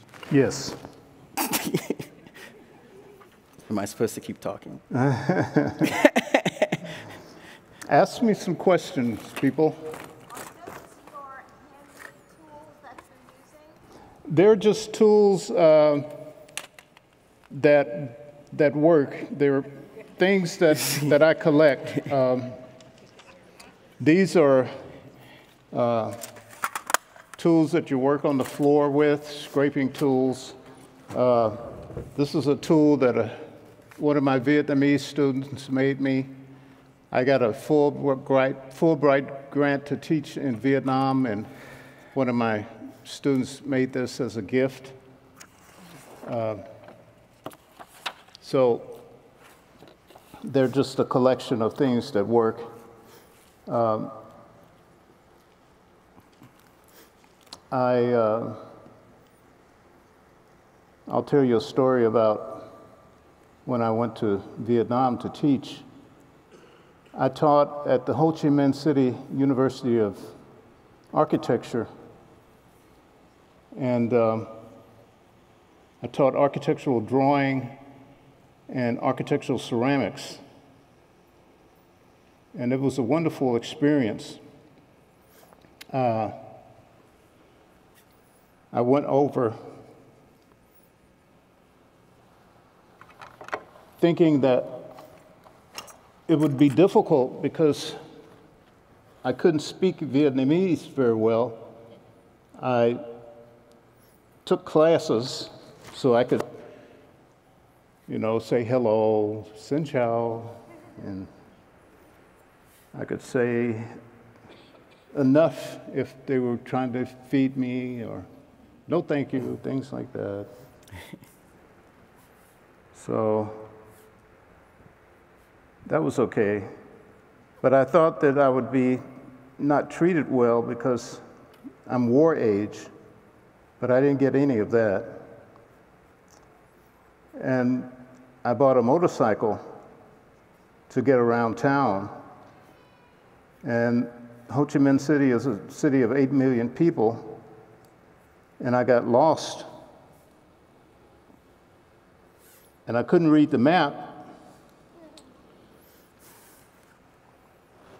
So one day, while I was lost, uh, they have these motorcycle drivers who they're essentially a, a, taxi driver on a motorcycle. And he was sleeping on his motorcycle, and I went over and asked for direction. He didn't speak English, and I showed him my card to my hotel, and he got on his motorcycle and he beckoned me to follow him. And it took an hour, I was so lost, to get back to the hotel. And I tried to pay him and he wouldn't take any money. That's just how nice they were to me. And one time I was walking at the in the park and a Vietnamese man came up to me and he took out his wallet and he showed me a tattered photo of himself with a GI soldier. And he asked me if I knew his friend. He was a black GI soldier. And I, I said, No, I don't know, don't know him. And then he invited me to his home and introduced me to his family. And I'm telling you this story just how, to show you how friendly and what a wonderful experience I had over there. But that experience and the colors that I saw and the temples made me interested in using gold luster in my work. So some of the forms that you're seeing, that you will see with the gold luster, it came from that, emulating the, the temples that I saw and the colors that I saw in the fields. So a lot of my work is influenced by, by memories. Um, I had an experience where I was invited to be a resident artist in Hong Kong. And my daughter and I went over during spring break. She went with me uh, traveling during her Christmas vacation. I was going to be there for a semester, and she was going to be there just for the Christmas holiday. So we got there early in the morning, 2 o'clock in the morning. I had jet lag, and it felt like I was drunk. And I had to give a lecture at 2 o'clock that afternoon and a workshop. And when I gave the lecture, I was sleepy and forgetting my many of the stories, and it was not going very well. And most of the people in Hong Kong, they speak Cantonese and English. But I noticed that there was a gentleman who was dressed in nice suit. He looked very distinguished, very important. And my lecture was being translated from English into Mandarin. I had taken a little bit of uh, Mandarin, so I, I knew the difference. And uh, my daughter was trying to help me. And she said, Dad, uh, tell the story of when you got lost in the desert and how that influenced your work. and so I got back on track and I told the story. And I'll, I'll tell you that story later. So after the lecture was over, the man came over with his translator and he said, I understand your work. He said, You collect memories. He said, I want to give you a memory. He said, I want to invite you to Jingdezhen, China. He said his daughter, whose name was Bahan, would travel with me for 15 days, and he was specific 15 days to travel to specific important places in China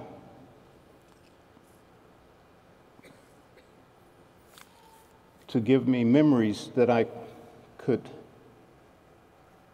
use for influence.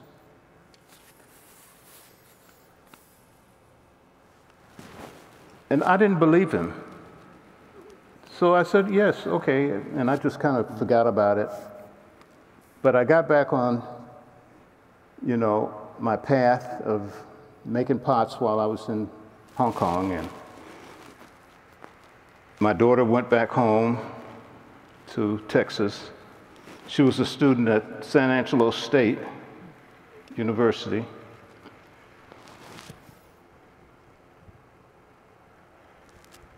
And a month later, I got a notice from the gentleman's name was Bawan, inviting me to Genta Jingdezhen. So I went, met his daughter. Very wonderful young lady who could speak perfect English, but she wanted me to teach her slang. And I didn't know any slang hardly, so I taught her yep and shut the front door. So we had a lot of fun, especially when she understood the term, what it meant. And we would be talking, and she would say, James, shut the front door. So, but we would go to villages that had never seen an African American potter. And whenever we would go and it was time to make a pot, she would say, James, it's time for you to show your action now. so I would have to make a pot. And there's a picture somewhere in that group of me making a pot using a potter's wheel that had a, a, a hole in the bat or in the, the flywheel, and you would take a stick and you would catch the hole, and then you'd do it like this, and then make a pot. So that was a lot of fun. So I'm telling you that story because uh, there, there are stories connected to most of my pots. So I'm, I collect memories. So when I retired in 2018, I wrote a book called Reflections Made of Memories. And it contains stories of my work that relates to 35 years of teaching at Texas Tech University. Did you get to the temples in Angkor Wat and did that affect I, I, I did, and I'll tell you a story about that. Um, I got another fellowship to go to Angkor Wat, Laos, and Vietnam. And part of that fellowship was to create an exhibition. I don't know if anybody's ever been to Cambodia. You have, they call it the, the country of one dollar. Do you remember that? You, did you hear that term? Because, and that's, it's not a flattering term. It's a country where there's lots of poverty and it had unbelievable abuse, and you can still see it. And so I had to make some art related to my experience, and a lot of what I saw was really agonizing. But the temples were unbelievable. And the banyan trees, those huge trees that are supporting some of the, the temples, and the colors of the temples, and the people still look like the temples. And there should be images coming up, if they haven't already come up, of uh, the people and the temples. So I agonized for months on how to make art that showed beauty and was intriguing. So I made these double wall platters, big platters, and I used gold and I used um, firing technique using um, stannous chloride, not stannous chloride, but um, ferric chloride and aluminum foil saggar, and uh, created these wonderful platters. Maybe they, did they come up already? Did you see those? With the, and elongated uh, swans or sandhill crane shapes made them more lyrical, em emulating the banyan trees. But you can see the goal from the, the images that I saw in Vietnam and Cambodia.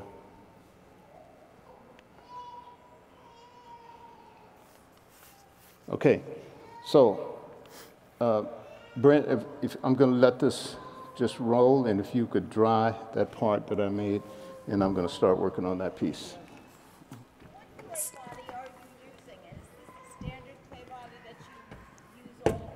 No, this is not a clay body that I use uh, at home. I mix my own clay. Uh, my clay has more um, grog in it. This is a very tight clay body, and it's it's a little bit different to work with than the clay that I use at home. When you're making the double walls, are you trying to keep them even, or are you intentionally having the inner one a little taller? Yeah, I, I eventually I want the top wall to be higher, and I'm going to eventually close it over to meet the outside wall. And I've learned that through trial and error. If you try to turn the inside wall over to meet the outside wall, they crack. Or, and if you meet them in the middle, they crack. So eventually, this one's going to be a lot taller, and it's going to uh, meet at the outside wall. Okay, I'm going to change my tools to this wheel and make it dirty. Hey, James. Yes. Um, is the, do you add the double wall on all of your pieces, or is there a size where you uh, decide to not add it? Yeah, uh, right now I'm, I'm making two different types of work, uh, and I have examples of the two. The piece that's on the, the, uh, the poster for NCECA, that's a single wall pot. And that's what I'm going to make here. This is going to be a single wall, and I call them my anthropomorphic forms because they um, are referencing a figure, and it's going to be a single wall piece. So this is a double wall, and this is going to be a single wall piece. Okay, thanks. Okay. James, when you made the foot on your other pot, did you throw a cylinder on the bottom and then cut out the arches? Yes, yes. And then whenever you put the holes in, I missed the beginning of this. Was Uh-huh. it at a leather hard state? That was when it was in the leather hard state, and it goes all the way through to the double wall between the two walls. So that's going to be the, the part that releases the air to keep it from blowing up. Okay, thank Yeah. you. Hmm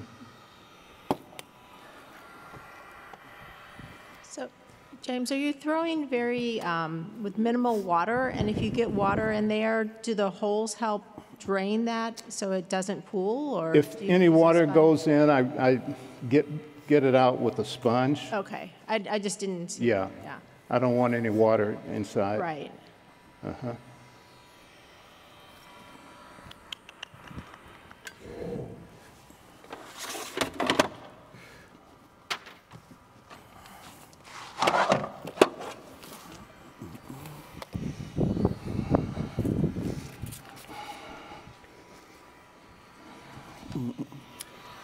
I'm going to, um,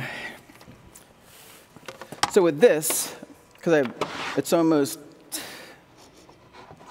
so it's 10 of. So what I want to do is I'm going to, um, just to show you the process of, of pouring um, casting slip on here, because this is this dries pretty fast. Uh, the nice thing about using plaster is once you put underglaze on there, it, then it wicks the water out of it. So as soon as it's dry to the touch, then you can actually start to go and you know work on there a little bit more.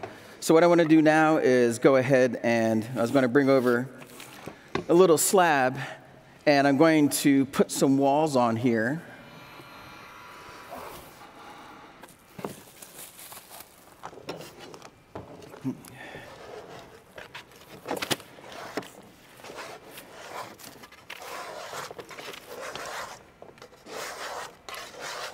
So I used the drawing fluid to um, draw that image. So it's the same thing. Now I'm just waiting for that to dry.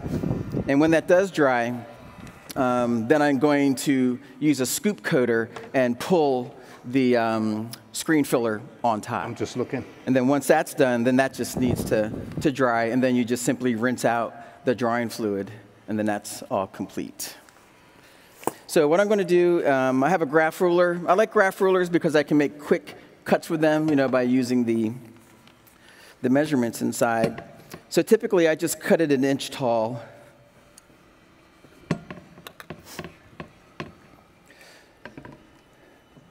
So these walls I'm going to put around the perimeter of the piece, and that'll keep the casting slip in place. Now, regardless of how large the plaster bat is that I have an image on, um, I still only make my walls one inch tall. Um, because this, I know that way if I fill it up halfway, it's just a half an inch thick, right? So, because yeah, I, I don't need a lot of casting slip on here. So when you put the casting slip on, whatever the shrinkage rate is, you're trying to figure out, do you want it to be like a quarter inch or you only want it to be like the thickness of what a normal slab would be. It doesn't have to be really thick. And if anything, you can even pour it sometimes on the thinner side since you're casting it. So I'm just cutting these.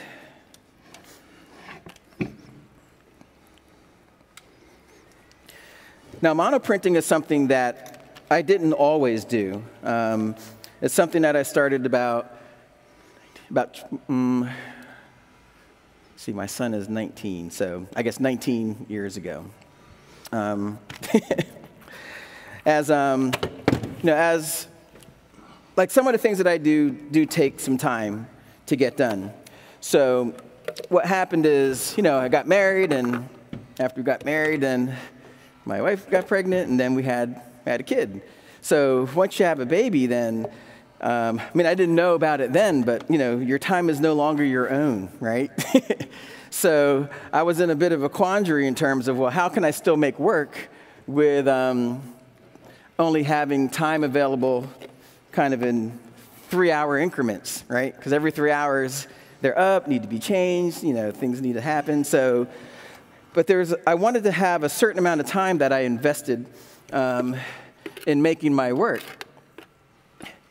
So I had to come up with a way to work. And this is, uh, we lived in Pennsylvania at the time. So I wanted to come up with a way that I could work that I could stop what I was doing and then you know, go help out. So, so we lived in Upland, Pennsylvania. It's a suburb of Philly. And um, the thing about that is what you know you just can't leave clay alone you have to you know keep doing things so i discovered that if i worked on my plaster bat i could stop because one of the things that i'm always wanting to do and i'm putting casting slip that i'm going to be using on the bottom of my clay wall because this is going to stick to the surface the casting slip kind of acts like glue.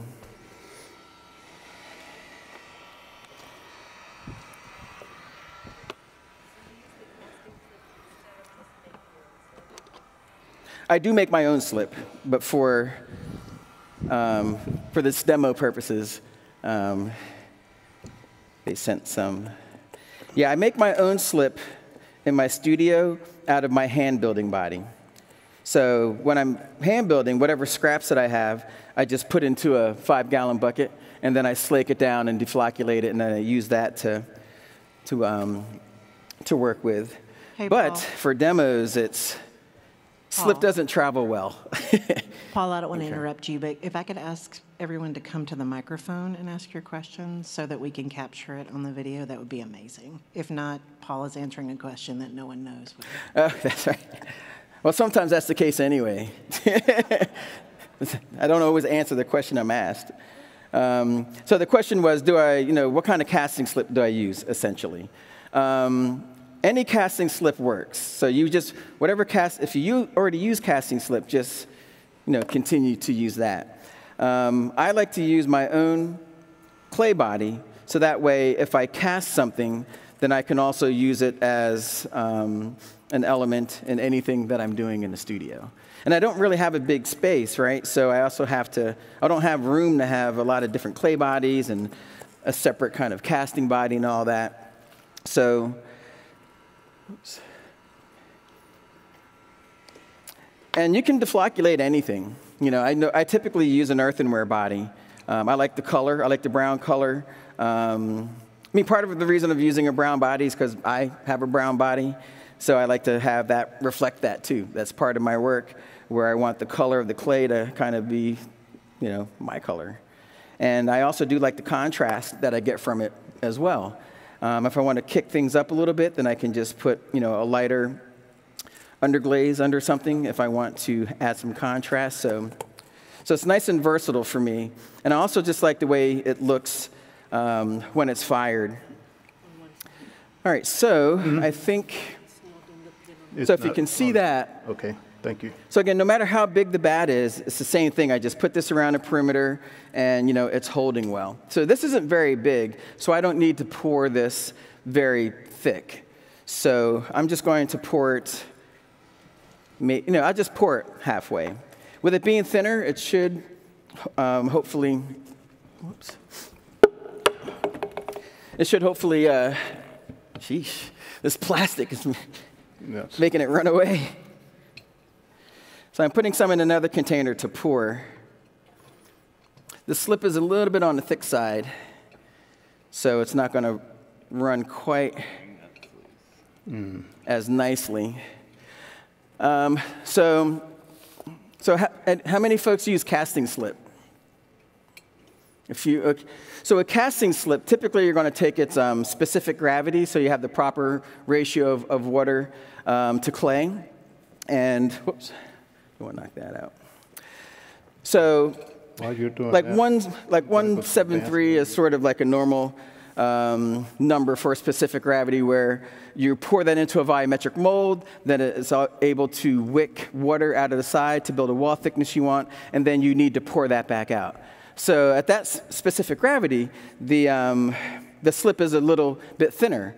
Now, when you're just casting flat, I don't need to worry about pouring that back out. So I can get away with having it maybe you know, 180 or 185. So, so that means, a, that means there's a bit more clay in there than water. Now, if I have it a touch higher, that means it's going to um, shrink less as well because there isn't as much water evaporating out of it. So, so that's, that also helps with any like warping or, or cracking problems.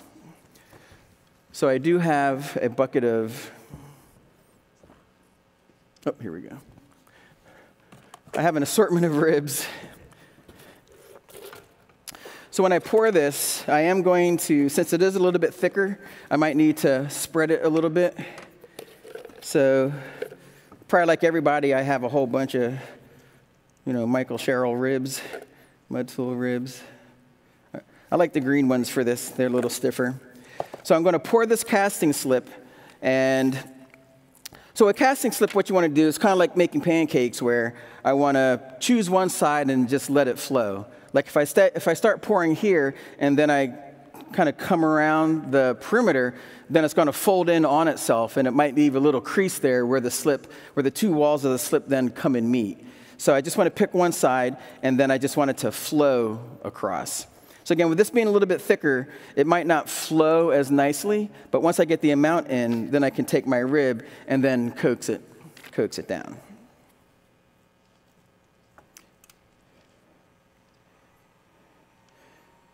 So if I just stay right behind it and just kind of pour right on the edge, it just naturally pushes it down. And that also pushes any air away also. It's actually not bad.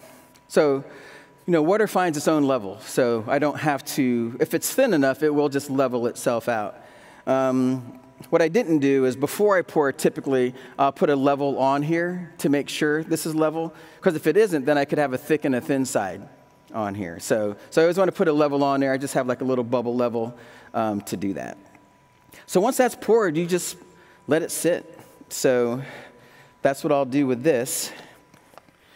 And I think it's like 11 o'clock. Does that sound right? Okay.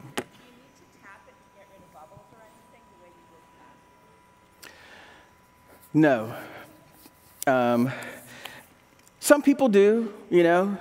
I never say like saying like a flat no because then I get an email a month later. Guess what I did? Because it always happens. As soon as you say you can't do something, then it's like a challenge, and then people figure it out. Um, but I don't. Um, one of the reasons it doesn't work quite as well is that the, no, the casting slip is kind of thick. So um, its own weight you know, should force the air out. Now, this is, there wasn't any air bubbles in it when I poured it either. Now, if you had just got done mixing it, um, like when you mix this, you want to keep your blade low so it's more, so it kind of spirals in there, so it kind of rolls. You don't want to get sort of like a vortex going where it's sucking air in. And so as long as you haven't introduced air bubbles to your casting slip, then when you're pouring it, you should be fine. Um, but yeah, so that is a good question though. You do have to be have to be careful of that. With a plaster, you can, you know, knock the side a little bit to, you can burp your mold. Okay. Right, so since I have, um, since I have a slab out, so, okay, so what is it? It's 11, so we started at 9. All right, so I, I did something in clay, just took me two hours to do that. So what I'll do now, though, is I'll go ahead and, since I have a little slab here, um, with the lino cuts that I already have carved, I'll go ahead and print um, directly onto the clay slab with that.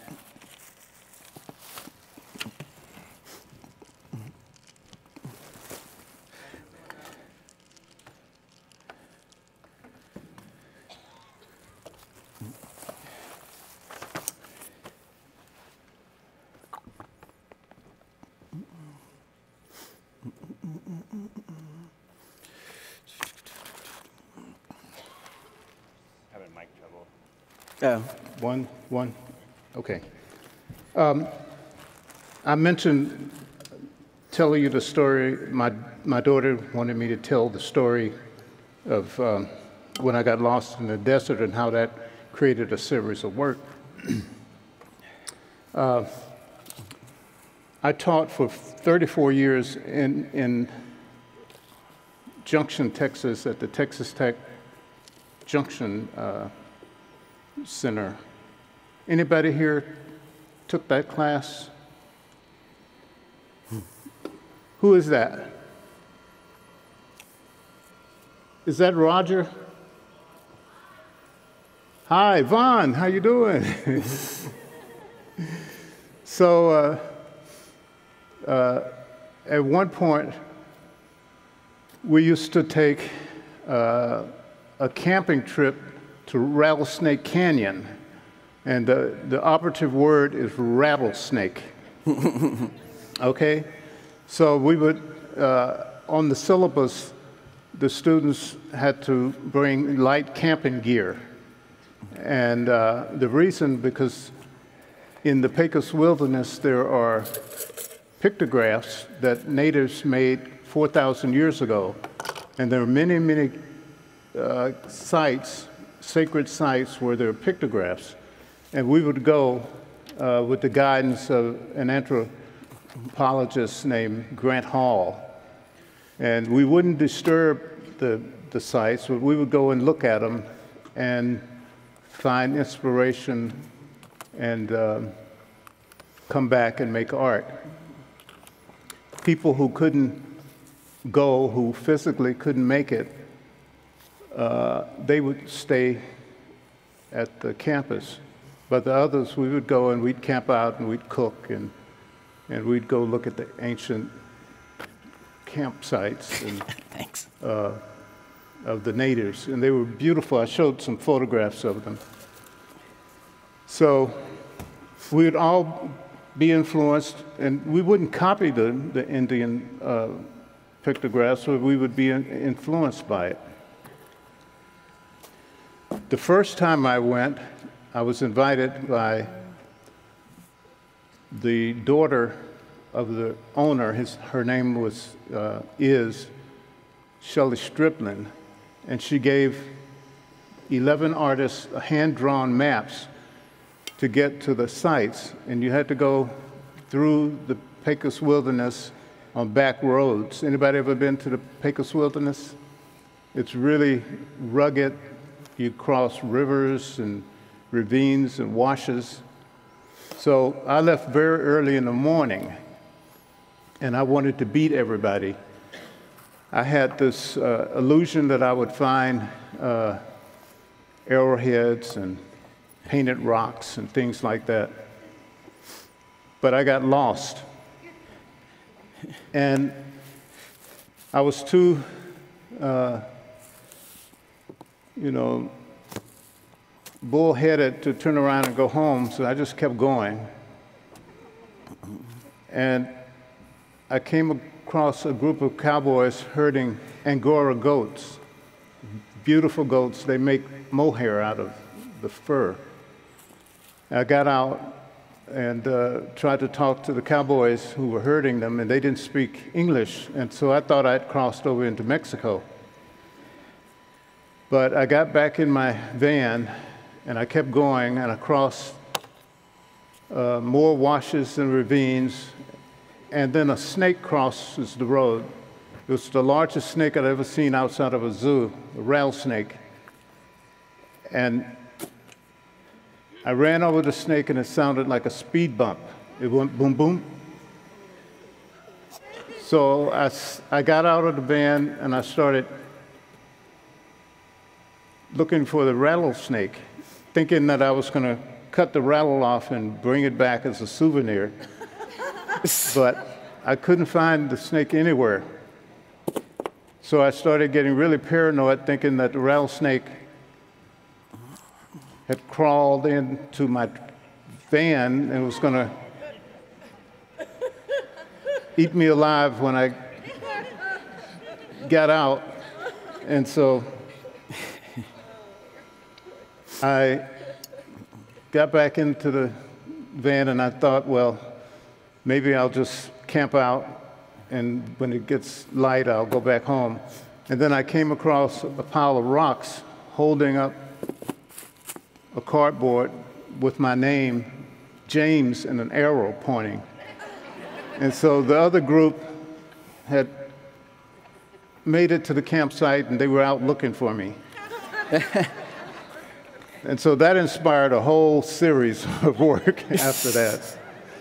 So I have one piece that I've kept all those years and I call it Snake Crossing.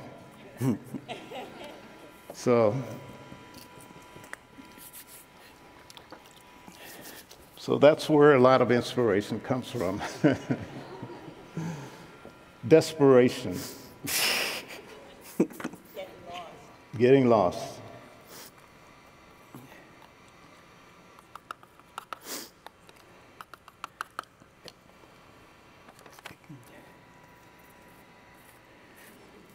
So I'm going to trim the bottom of this. It's a little wet. I normally wouldn't work this wet, but at a workshop, sometimes you don't have a choice. So this is going to be one of the anthropomorphic forms.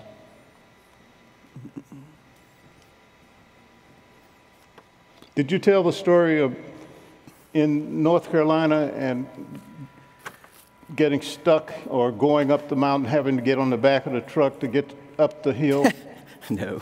Tell that story. That's a good one. so, I, so this is, I guess, a continuation of the, of the alternative kilns book. So, um, so after all the text was written um, for the book, for the alternative kilns and firing techniques, we had to do the photo shoot um, for everything. Now, this was something that um, they invited everybody um, you know, who contributed as well to come down to do these firing processes. Because some of the processes were very specific to the artist. So, so Randy Brodnax and Don Ellis, who do the fuming, um, that, that's not, has anyone ever tried that? The, the fuming technique? So that's not something that you kind of just like dabble in. I mean, there's really specific timing uh, to make that work. So, so anyway, so all of us uh, went down to um, Asheville, North Carolina, and Rob Pulleyn at the time, um, you know, you know, Lark Books, and um, so we were going to his place in Asheville to to shoot it. So, so he. Had, and like everybody, it seems like in that Ashland and you know kind of Penland area, everyone like lives on like a mountain, right, on top of a giant hill or something. So, but none of them are like paved, right? They're all just gravel. So back then I had a truck. I had a, um, a full-size pickup Chevy. Um, and then I didn't have a whole lot in there, but we were just all driving there. And and Linda was there as well. So Linda had her white van, um, and then I'm not sure what you were in, James, or Randy, or or Don, but I know I was in the back, and we were like a train of cars, and we were going up to Rob's place. So it's this hill that kind of goes up, and then it's kind of windy. So, so when we got to it, we're at the base of it, and I was like, I don't think I can go up there. Um, and they're like, You're fine. You got a heavy truck. I was like, No, I'm I'm afraid. because once, because he said once you get going, since it's gravel, you can't stop because you'll start to drift backwards, right? You just you can't hit your brakes. That just makes it worse. So they're like, so they, he's like, keep it spaced out so that way you can control that.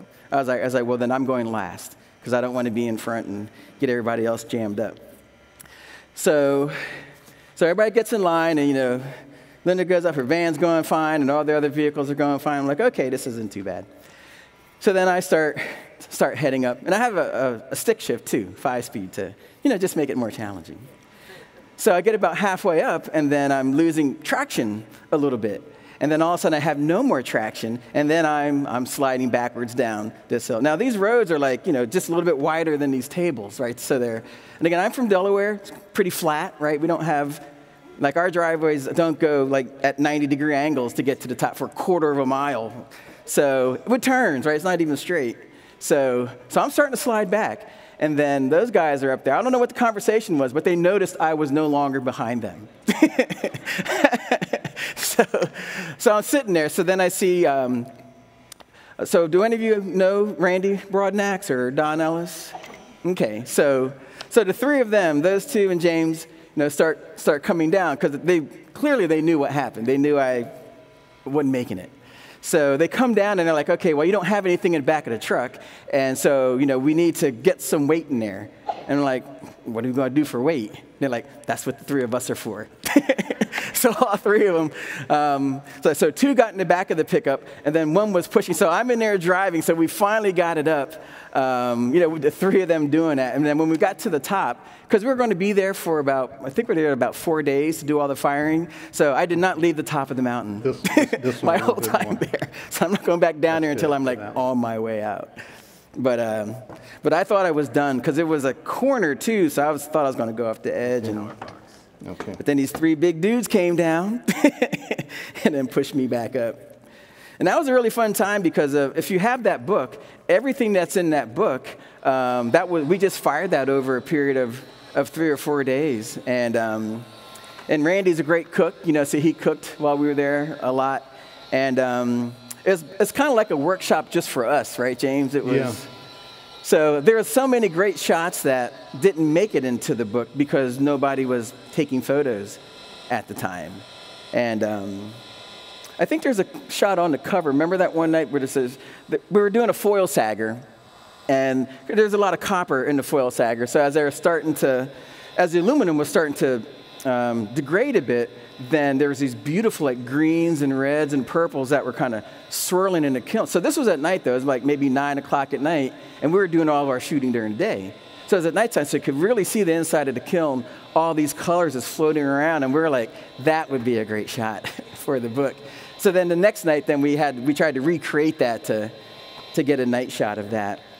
Um, but it was a lot of fun, and um, we got a whole lot of work done. And one of the things I was doing was the pit firing. So so I dug this hole in Rob's yard to to do the pit firing stuff. And when we left, um, he reminded me, you know, about a few months later, he goes, "You never filled that hole back in."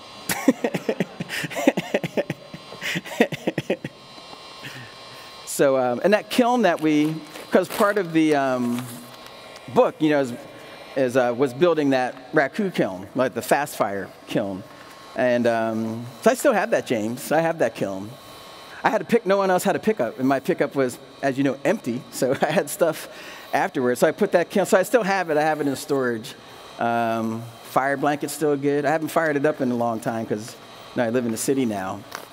But, um, but that was a really great time. And then about a year later, um, you know, Lark asked me if I wanted to, to write, the, um, write the image transfer book, you know, on the different printmaking techniques. Um, now, after, you know, working with James and doing that first book and with the editor, I was like, okay, I've, I think I, I can do this. That's not a problem. So, so I agreed to do, so I agreed to do it. So then, you know, I got all the text done and everything, and then it was time to do the photography. And I, um, and I was like, so when am I coming down to, to North Carolina, to Asheville, to, to do the photo shoot? And they're like, oh no, that was just, that was a special thing. You need to so I had to find a photographer and do, do, it all locally. But that was so that they don't do, they didn't do that for people back then. So that whole because of the way things needed to be fired and fired by specific people and through a certain time, and they needed all the lighting to be same and all that. Um, it just turned out to be a really great experience for you know for all of us down there for like three days to. It's almost like a alternative firing retreat. So, so yeah, I don't have that truck anymore, unfortunately, but that was scary. I didn't think that. I didn't think we were going to get up that mountain. So I'm going to print again like I did last time, but I, am, so I have another block that I want to print on this clay slab. So the slab feels pretty good. Um, you want to get the clay to where it's not sticky or, or tacky to the touch. This is a touch tacky, but you know, it'll work. So just like the last one, I want to proof it first just to see how it looks. So I'm going to proof it first on um, newsprint. So same thing, I'm just rolling it up. And also with this underglaze, it's not modified at all either. It's just simply about the same. Good. Okay. It's just simply thickened up by letting it sit out yeah. for a couple of days.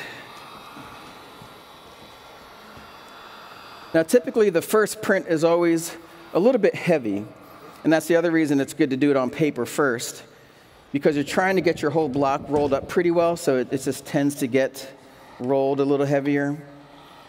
Once there's underglaze on it, um, it's easier for the other underglaze then to sit on top of that. All right, so I'm going to kind of repeat the process. I'll go ahead and use the, the press for this. So if you weren't here earlier when I did this, um, this is called, a, this is, the company's Woodzilla. So this, it's not a clam press, but a, a clamshell press you know, closes just like this. So that back hinge is always a little bit more pressure coming down. When I print with this, the pressure's in the center, so that's why I can use clay. So I'm going to go ahead and put the paper on. Thank you. Put this blanket over.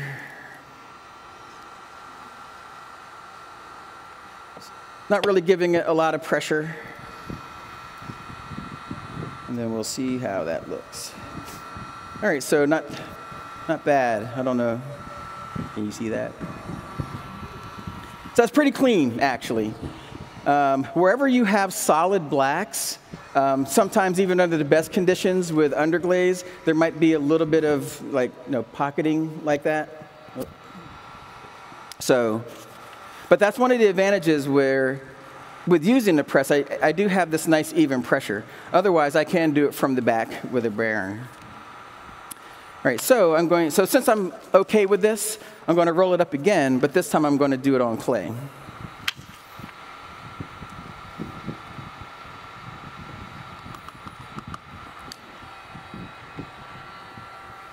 Now this body is a little bit lighter. It's a white body.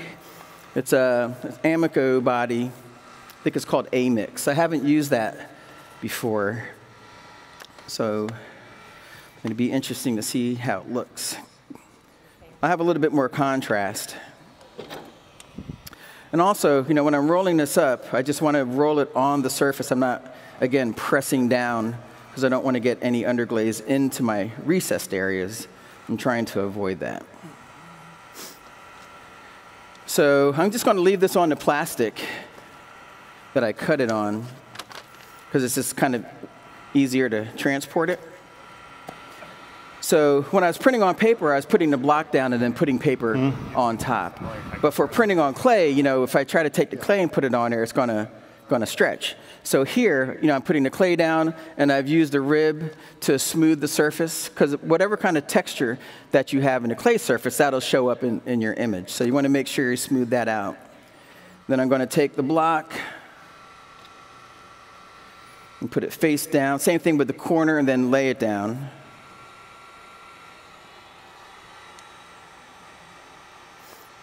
And I think that moved a touch. That happens. If it shifts when you put it on, that's when you know maybe the clay was a little wet, but we'll still see what we got. So, so again, since it's not a clam, like a clamshell, this hinge would be here, then it would just come down. With this, um, it, this block floats. So as I come down, it settles to the thickness that I need. So when I'm pressing, there's these two bars that go under this arm. So when I'm pressing down, the um, pressure's in the middle. So that way, it, the slab won't get um, compressed on one of the edges. So here I have to be careful not to press too hard. So we'll see. Sometimes, it, like with printmaking, you have to sometimes do it a few times to get it right. So I don't know. Yeah, bring it up here. So, so with here, you know, just grab the corner. It slid a little bit, so that's a little messy, but not terrible. I guess you can see it okay. so what I will do is I just do it again, and that's the thing. and that's the thing about this is sometimes like I said, it doesn't work exactly the same way it works on. You think you got it? On newsprint. Thank you. So let me try to get a little bit of a cleaner print. So with this, I won't do it right now, but if I don't like the print, okay. then I can just scrape it off, right, and just do it again. So, so nothing is sort of a, nothing's an emergency. Get one.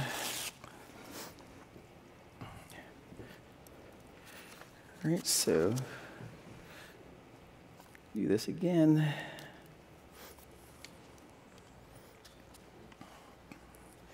Now, this time I'm not going to press quite as hard.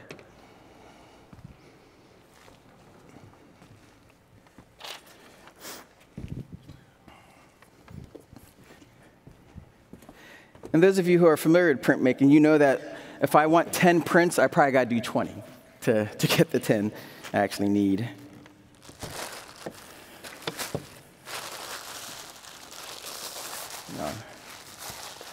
Bring it up here so you can see my potential success or failure.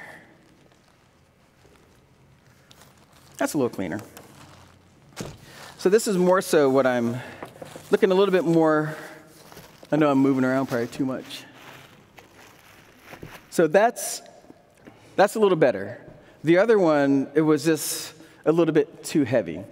Um, so I'd probably continue along with this. Now, this could be a little, this is as good as I can get it with this condition.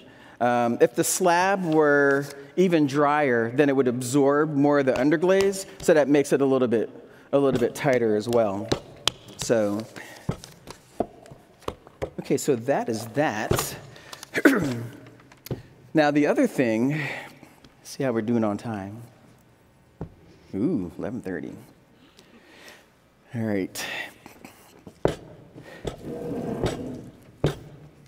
So I use the side of my hand to check to see how it feels. Okay. Because I do want to pull that so you can see how the screen is, is made.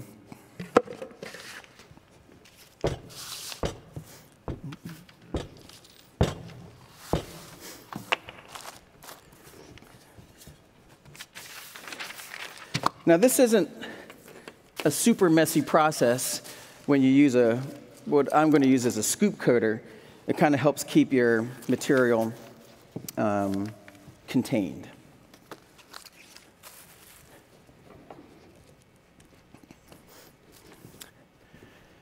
Alrighty.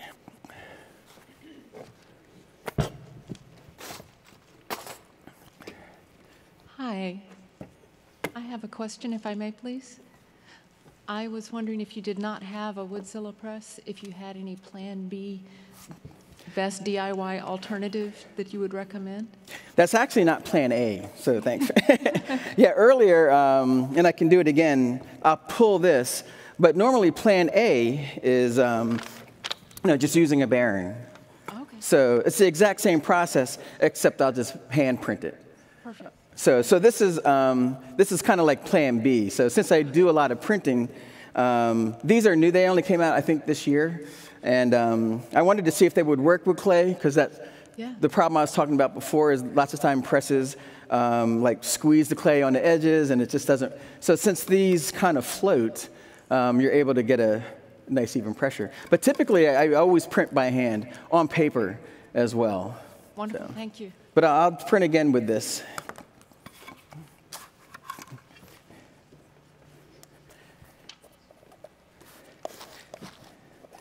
So I know that there were some, some screen printers that raised their hand earlier.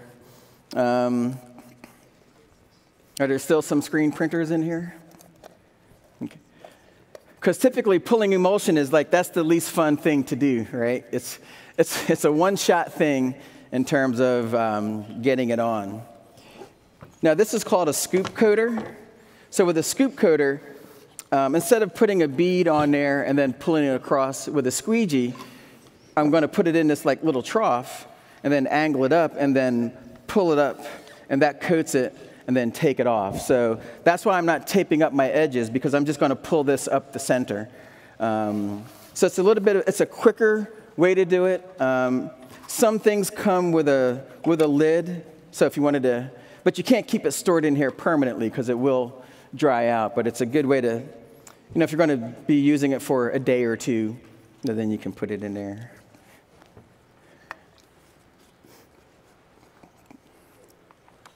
All right, so pouring this in.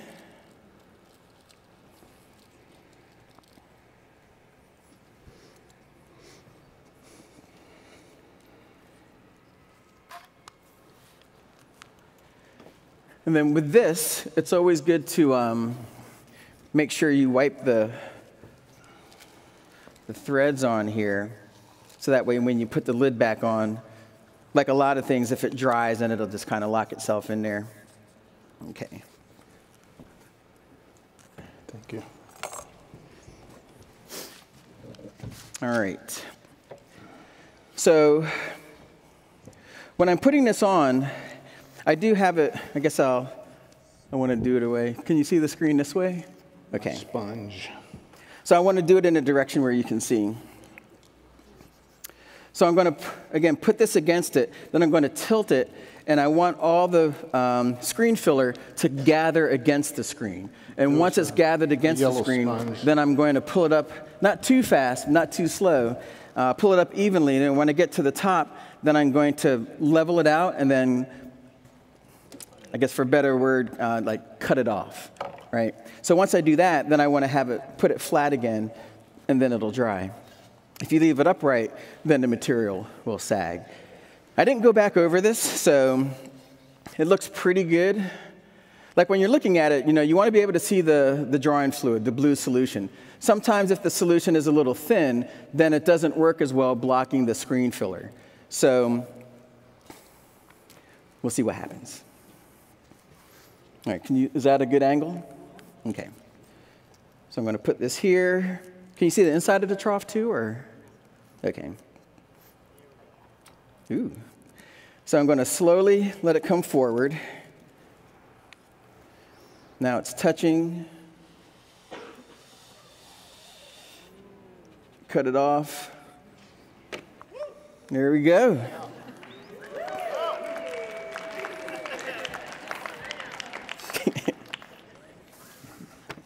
All right, I'm done. No. So when, when you're done with this, then um, same thing, just wipe it off the edge.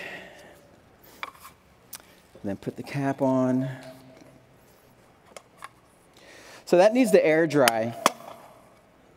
And then once that's done air drying, um, you just rinse it out with water. It's all, and this, this is all, um, does anyone teach K 12? So this has the highly desired, you know, AP symbol on there. So, so if you're, because you can't use anything that doesn't have AP on it, K 12. Um, So this screen filler does have the AP on it, so there's a drawing fluid. So this is great. Like if I do something for like high schools or something, this is something I can take in. I mean, you can rinse it out in the sink. There isn't any special cleanup uh, or anything like that. So that's why it's so nice because like working with kids, then they can just draw whatever they want, and then they could go through the process I did earlier in terms of tracing it into the screen, and then, then whoever the adult is in the room, you can assist with the, uh, do a scoop coater because it makes it easier. So it's a really quick experience for them because by the time they get done drawing, then they put the drawing fluid on. Again, it's about 20 minutes, and then you can scoop it. And then maybe about another 30 minutes later, um, once this is dry to the touch, you just rinse it out in water and then give the screens to the kids, and then away they go. Now, once the screen is done, you could do the clay stuff that I'm showing you, or you can just get fabric ink and do t-shirts, tote bags, you know, whatever. It's just a screen. You can use it for whatever you want. Um, but it's, it's, really great if you are, um, if you are K-12 or, you know, adults. I mean, I, I use it too. Um, but it's nice and versatile. You don't need a special studio. You don't need special equipment. Uh, Paul, did you have background in screen printing and just printmaking before doing it on clay, or was this a new venture when you started it? I did. I've, I've always done it because my professor, Victor Spinski, um, so as an undergrad, you know, Victor Spinski made ceramic decals. And so the undergrad student, we just had a room where he did four color separation. So it was just something that I thought was normal, actually. I thought everybody in uh, Clay knew how to screen print. So I didn't realize it was unusual until I was more like a junior and, and like that. So um, yeah, and, and also for me, it's something that, like the screening and the relief kind of suits my style of drawing a little bit better as well. Because um, no matter how you draw, when you're doing it, when you're recreating it as a screen, what that does is kind of recreates that image too. Because your brush stroke is going to be a different width than your pencil stroke. So I like how it transforms it.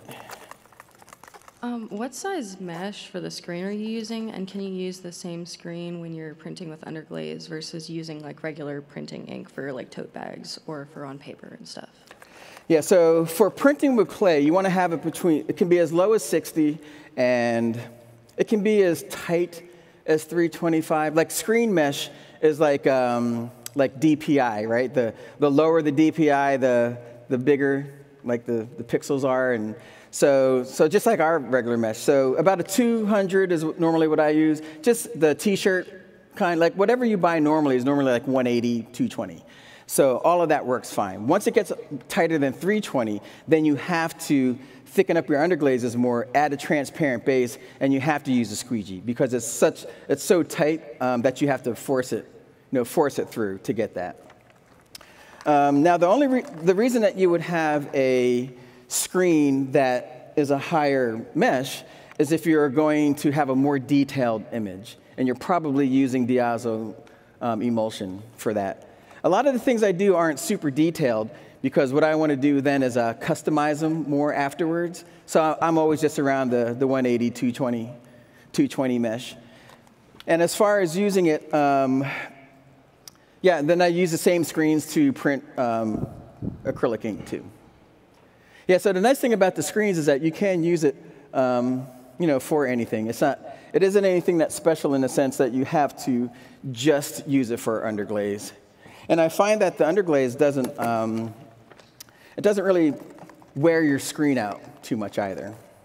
You would think it would, but it's not like, like with other screen, like with regular screen printing, you might end up making um, like 80 prints with that. So that eventually does wear your screen out. But for clay purposes, you know, I don't make, it's not that high of a volume. So the image doesn't really wear out. And then with this uh, drawing fluid and screen filler, that holds up in the screen a long, long time. Okay, what I was going to do is attempt to do a multicolor one. So to do something with multiple colors, so this is already a lino cut that I made. so, so sometimes they call it a, a jigsaw um, lino cut. So I just, you know, have three pots on a table. So I carved it and then I just cut them out individually. So that way I can ink them up individually and print them. So I'm going to go ahead and do the floor black. And I'll do this on paper so it's, it's easier to see. And I know we're, I think, starting to butt up against it, right? Um, does it require um, a chemical to clean the screen if you want to reuse the screen? Um, well, it is a degreaser. There's a, I don't have it up here, um, but there's a, they, it's called Speed Clean. um, so again, this is you know Speedball product, and they also it's called Speed Clean, and it's just a clear solution, and then you um, just pour it onto the surface. I don't know where that question. Came. Oh, over here. Uh, so you just pour it onto the surface, and then it breaks it down, and then you just rinse it out underwater, and, And it goes away. Not dangerous for K through 12? No, it also has the, the AP The label on it too. cool. Yeah, and, that, and that's the thing. Um, Thank you. That's the important thing. I know with K-12, it has to have AP on there to work. So now, if you leave it in there for six or seven months, it is harder to get it out. So, but if you're getting it out within a couple of months, it breaks down pretty easy. You don't need like a pressure washer or anything like that to blow it out. It just let that, and it's not a chemical. It's just a, it's just a degreaser. I used to use Mr. Clean. That does the same thing too. Um, but when you pour it on, just let it. It basically dissolves, dissolve that emulsion away.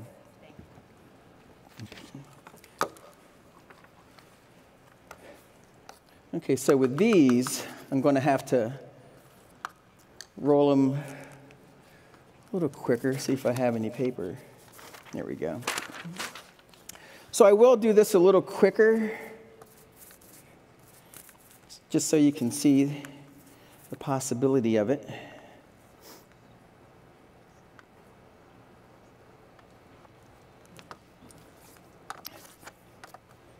I always like to do dark colors because they show up better, but here I am using a light color. Now, these haven't been printed yet, so it's a test print, but still might come out okay.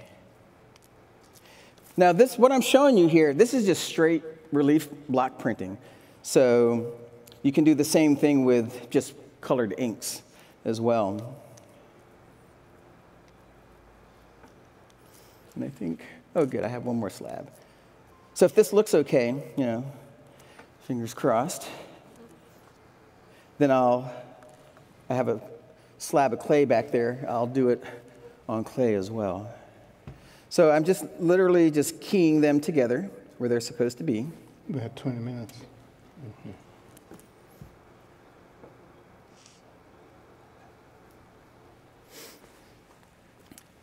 Then put the paper down.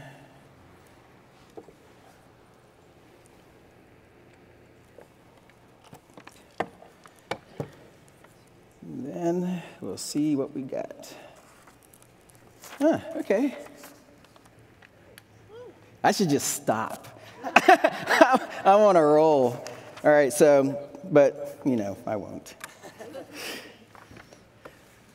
So I will, yeah, that's, I'm gonna have to keep that. Now, this is a double demo. This is called a paper transfer. so anytime you do any underglaze on newsprint, I can just put this face down and, you know, spritz it, rub it, and that's a paper transfer. Here you go. Two for the price of one demo there. All right, so I will do the same exact thing on this piece of clay. Hey, Paula, I have a question. So when you transfer it from a paper to clay, do you let the underglaze dry on the clay? Or like on the paper, sorry, before transferring it, or do you do it wet? You can actually do it both ways. Okay. Um, if you let it dry first, then you need to um, wet the paper just a little bit more and burnish a little bit more for it to release. Um, now, if you do it that way, you will get a cleaner print. Okay. Um, if you, but you know, this is you know pretty dry now, so what I would do is same thing. It's still the same process, but when I'm spritzing the back, I won't need to maybe burnish quite as much because it's releasing from the paper faster. Okay. So, And- but yeah, if you let it dry, if you want, to, if you do want a clean print, then just let it dry, and then maybe just 10 minutes. It, it, it goes pretty fast. Have you ever drawn on the paper to then transfer to the clay? Sure. Yep, you can do that too. You can just use your brushes, and yeah, you can just treat this just like a piece of paper, whether you print on it or screen on it or brush on it. Now, this is basically it's a paper transfer, but it's sort of like monoprinting. So if you put like if I put a line here, then if my line goes on top, when I pull it off, it's going to be like that. So you're going from foreground to background if you are layering your colors if you're painting or drawing. But yeah, you can absolutely do that. then also, depending on what you're putting it on, you, if it needs to fit in a very specific area, you can trim it out to fit in that area as well. So it's a nice versatile way uh, to work uh, paper transfers. It's not going to be as much color as if you were able to directly print on it, because um, you're transferring color from a, a plate to a substrate, and then from that substrate to there, so there's a little bit of loss of color. So but it really it works really well if you're like collaging on a surface and you want to layer layer things. So yeah, just wait for whatever you did. There's some air bubbles in here. It's fine. Um, so whatever you did, you just need to wait for excuse me for it to dry before you print on top of it. Okay. Um, and so when you're drawing, do you also make sure that the slip is thinner? Yeah, same consistency. Because if it's really thick, then it just cr- it gets it cracks. Okay. the thing about transferring, like, like more isn't better when it comes to, to that.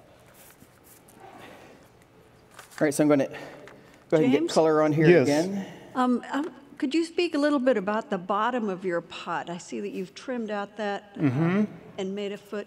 I sup- Mhm. suppose that's about a leather hard when you did that? And then Yes. is the bottom going all the way through the interior wall plus the inside of the vessel? Well, I, I prepared this yesterday, so I, I put a coil on the bottom of it, and I carved it out this morning. And then I poked a hole, poked three holes through each foot, so that that allows um, the air to escape on the inside of the, the wall. So the holes go all the way through to the inside between the two walls. And um, But the, there's one continuous bottom then, right? there's one continuous bottom, yes. But air vents for the interior. Yes. Okay, thank you. So I'm doing the opposite here, where I have my clay slab down, and then I'm putting my pieces um, face down.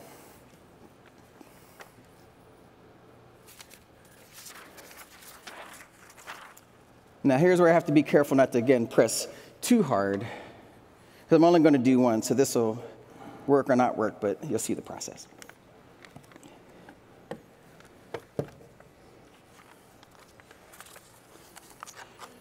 All right, turn it around for your inspection.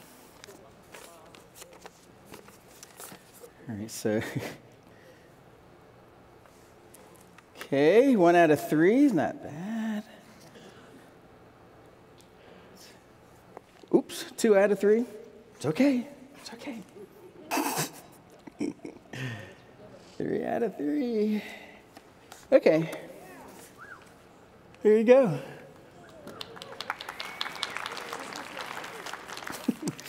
now, in it, I pressed a little harder than I wanted to.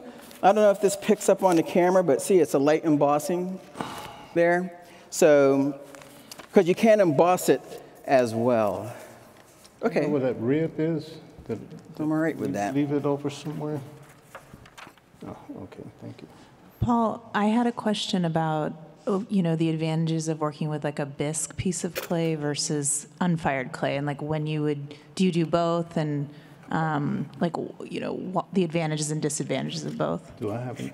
I rarely I work on time to put bisque. on? Um, not for any particular reason. Um, well, I guess one reason.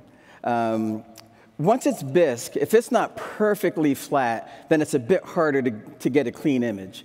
Um, and it's harder to, to wipe off a mistake. So if I'm just printing on, on greenware, you know, on leather hard, if like this one, this I can wipe off and I can print again. So it's a little bit easier to, to reuse. Um, and for, if I am printing on bisque, uh, then I would probably be printing glaze, um, just printing glaze on there instead. Uh, but there, it's, it's just a little bit trickier. Also, um, if I print on bisque, that's when I would do a more traditional way of, like, say, silk screening, where you know, I would have it on and I would have my hinges so that it's just floating a touch over the surface. So when you're pulling the squeegee, the only contact is where your blade is going. So that way you get a better print. So, so you just have to print it a little bit differently because of the surface. Um, but I don't have a preference. I just, I like to get as much as I can on greenware. So when I fire it, then I can do more color afterwards. I just, I just like things coming out of the kiln with, with something on it already. But there are a lot of people who um, go ahead and do the tiles first or their, whatever their pieces are, bisque them, and then they come in and print afterwards. You just, you just want to have more of a low bisque, like maybe around 06-ish. Because if it's too high of a bisque, if it's like 04, I mean, even 08 is better, you need the bisque to be porous. Because if it isn't porous anymore, then, it's, then the material won't uh, wick into the surface. So that would be the one thing. So depending on your clay body, do, a, do more of a soft bisque, so that way it's more receptive uh, to the, you know, pulling in the underglazes. If I could uh, ask James uh, for clarification on thickness and Mhm. moisture control, and uh, you may have addressed this and I came like an hour late, but um, do you have a suggestion for wall thickness when you are working in these larger coiled forms? Um, what is that? About Half inch? not quite a half inch. Three three fourths, maybe three eighths, or three eighths. Yeah. And do you find structurally, if you were to go thinner, is that just up to the confidence of the potter? Or like structurally, would there be issues going thinner than that? Um, I think it's confidence of the potter. Um, Sure. not not so much structurally. And if I, I'm just going to pick your brain, I'm so sorry. Um, With moisture control, uh, clearly you've, you're, you know, working with something leather hard underneath, and then you're reanimating to, you know, a throwing consistency up top. Uh, Do you find delicate, you know, work between those seams or those different shrink rates uh, Hmm. occur? Um, well, in my studio, I, I try to uh, dry them very slowly, and I try to keep them uh, at the same consistency as much as possible. So I use a lot of um, drying control by keeping them covered with plastic and um, not let them dry out too unevenly. And when I move them, I only move them when they're le- leather hard. I never move them when they're dry because they're, they're more uh, fragile when they're dry and they're stronger when they're leather hard. I even I put them in the kiln when they're leather hard and let them dry inside the kiln when they're leather hard. Um, I've lost pieces uh, trying to put them in the kiln when they're dry. They just kind of crumble in my hand, you know. So I learned that through trial and error. And uh, I don't, I don't like, I, they, they're heavy, period, because they're double wall and everything. I don't like them to be real heavy, but because I, I don't like having an, an assistant. I like to be able to move them myself. But occasionally I do have to get somebody to come over and help me. I used to get my son to do it, but now he lives in Oakland, California, so that doesn't, doesn't work anymore. Sure. Yeah. And if I could have one last follow-up Uh-huh. question. Um, So I work in a lot of combined form application, and I'm very curious to explore the coiled form technique, and I guess, what are your thoughts between the two techniques to create larger work? Uh, but Like- coil, coil or what? Like throwing half of a vase and then the other top half of a vase and then sticking Oh, I like see. Yeah. together?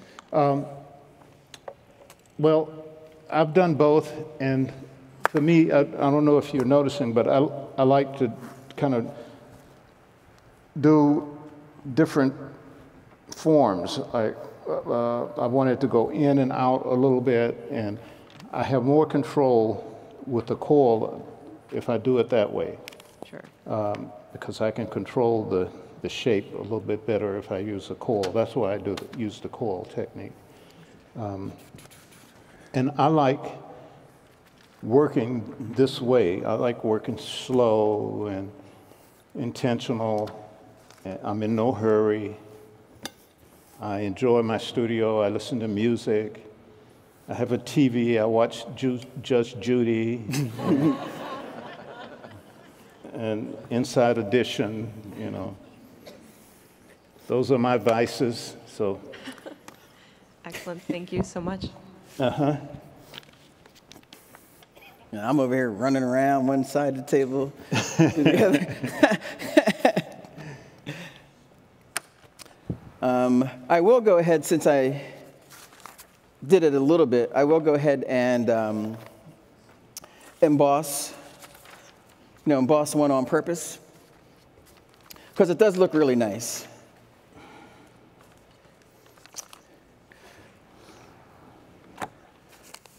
Now, the thing about embossing clay is it has a very different look than if you were to carve it. Because if you were to carve the surface, then the surface is flat, and then all the recessed areas, you know, make up whatever the, the form is going to be. So when you're doing clay, embossing into clay, oh, use this one. Okay. What's going to happen is that the tool that I used when I was carving this, um, like the, the different sweeps and the different V shape, now those are going to be high areas, so they're going to be either, um, you know, the sweeps or the corners. So when you're embossing it, um, it, it looks, I just love the way the embossed pieces look because you see the shape of the tool that you carved. And then the other areas also that get recessed also have a different look. So it does look very much, it looks very different from carving when you emboss. So I will go ahead and do that. So this is, feels pretty soft. So put that on top. Haven't been doing as good today about protecting the surface, but it's, it's good. So this one, sometimes you just have to do it a couple times. Again, depending on how soft the clay is, will dictate how hard you might have to press. And you can do this, of course, with the, um, with the Baren uh, as well. So everything I'm doing with this, you would just, you know, press from this end.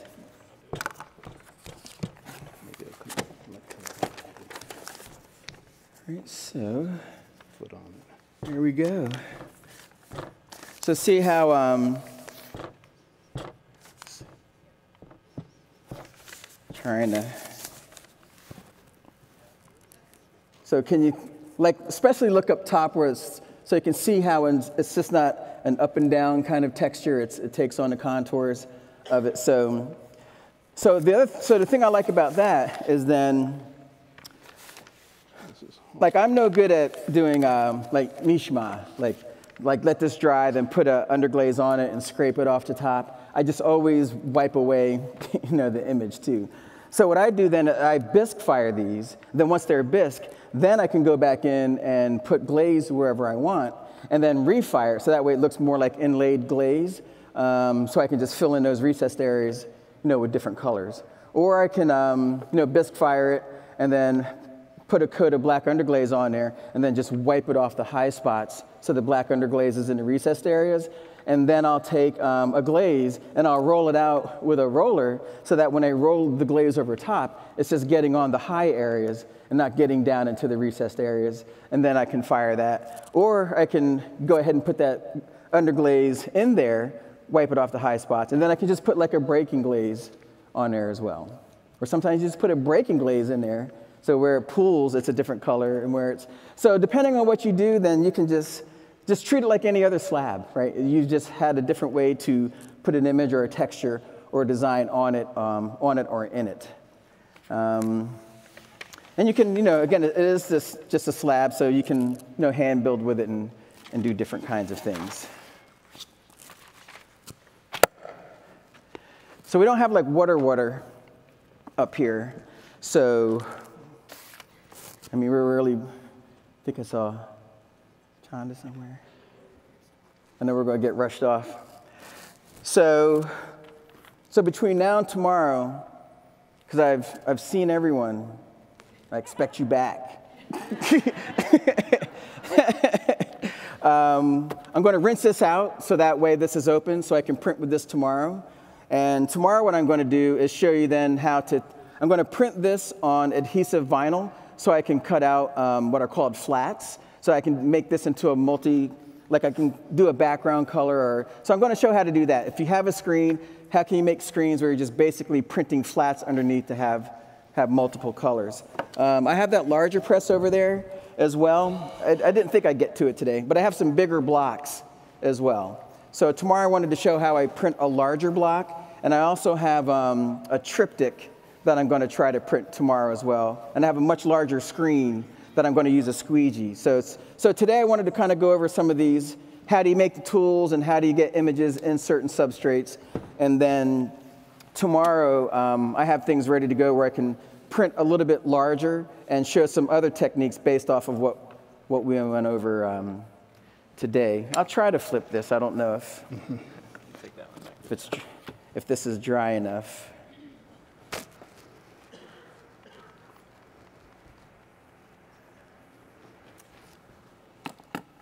Yeah, this is super fast trying to flip this.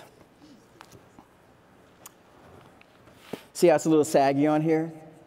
Because it needs like another hour, but we don't have that.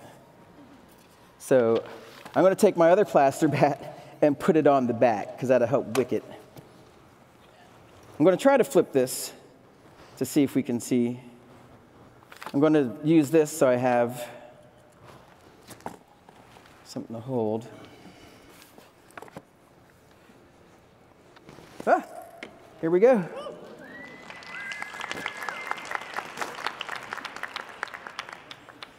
So this, I could just wipe off with a sponge and then it's ready to, to print again. Any, you're always going to have a little bit of residual color still in there, so that, that's not a problem. So again, just with a sponge, wipe that off. If for some reason it's a hard time getting it out, then just get um, just sandpaper, just the wet, wet sandpaper, like a 400 or a 600 grit wet sandpaper, and they can just lightly sand the surface, and that'll remove any like hard to get out stains. Paul, Um, was that, uh, was that um, the black to the clay, is that raised at all, or is that just flat, like on the, on the plaster? Okay. Um, this is perfectly flat. Okay. Um, because when the image is on there, when the casting slip is poured on top, what it does is it wicks the underglaze into the surface of your um, clay slab. So that's so if this had a te- that's why this should be perfectly flat because then your surface is going to be perfectly flat. So yeah, that's a good question. Okay, sweet, thank you. Um, and that's the beauty of it as well. And that's why you don't need a lot of material. It's actually it's actually your your surface when you pull that off. Now, once it gets a little drier, then I would, you know, I could just trim that up, and it's like I like I like I have these little guys because I like I do like making some small things. Sometimes, you know, I can go through ideas um, a little bit quicker. Yeah, with the other ones, um, like the question inferred, um, it's sitting more on top. You know, when you're printing on the surface, um, it's sitting more on top. Not a lot because going through a screen, like the width of the, like the depth of the screen is very thin, so that's as thick as the layer of underglaze is.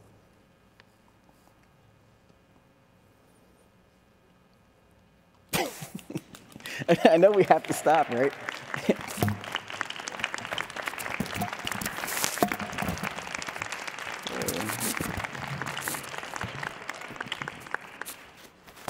well, thanks for. So just so everybody knows, these fine gentlemen will be back tomorrow afternoon at 1 o'clock. Um, At 1 o'clock today, we have two fantastic female artists taking the stage, and uh, we're looking forward to seeing them as well. So either grab something to eat and come back, or um, plan to be back tomorrow at 1 to catch the end of them. But our artists this afternoon will be here, and then they'll be back in the morning at 9. So it's a flip-flop. Thank you, guys.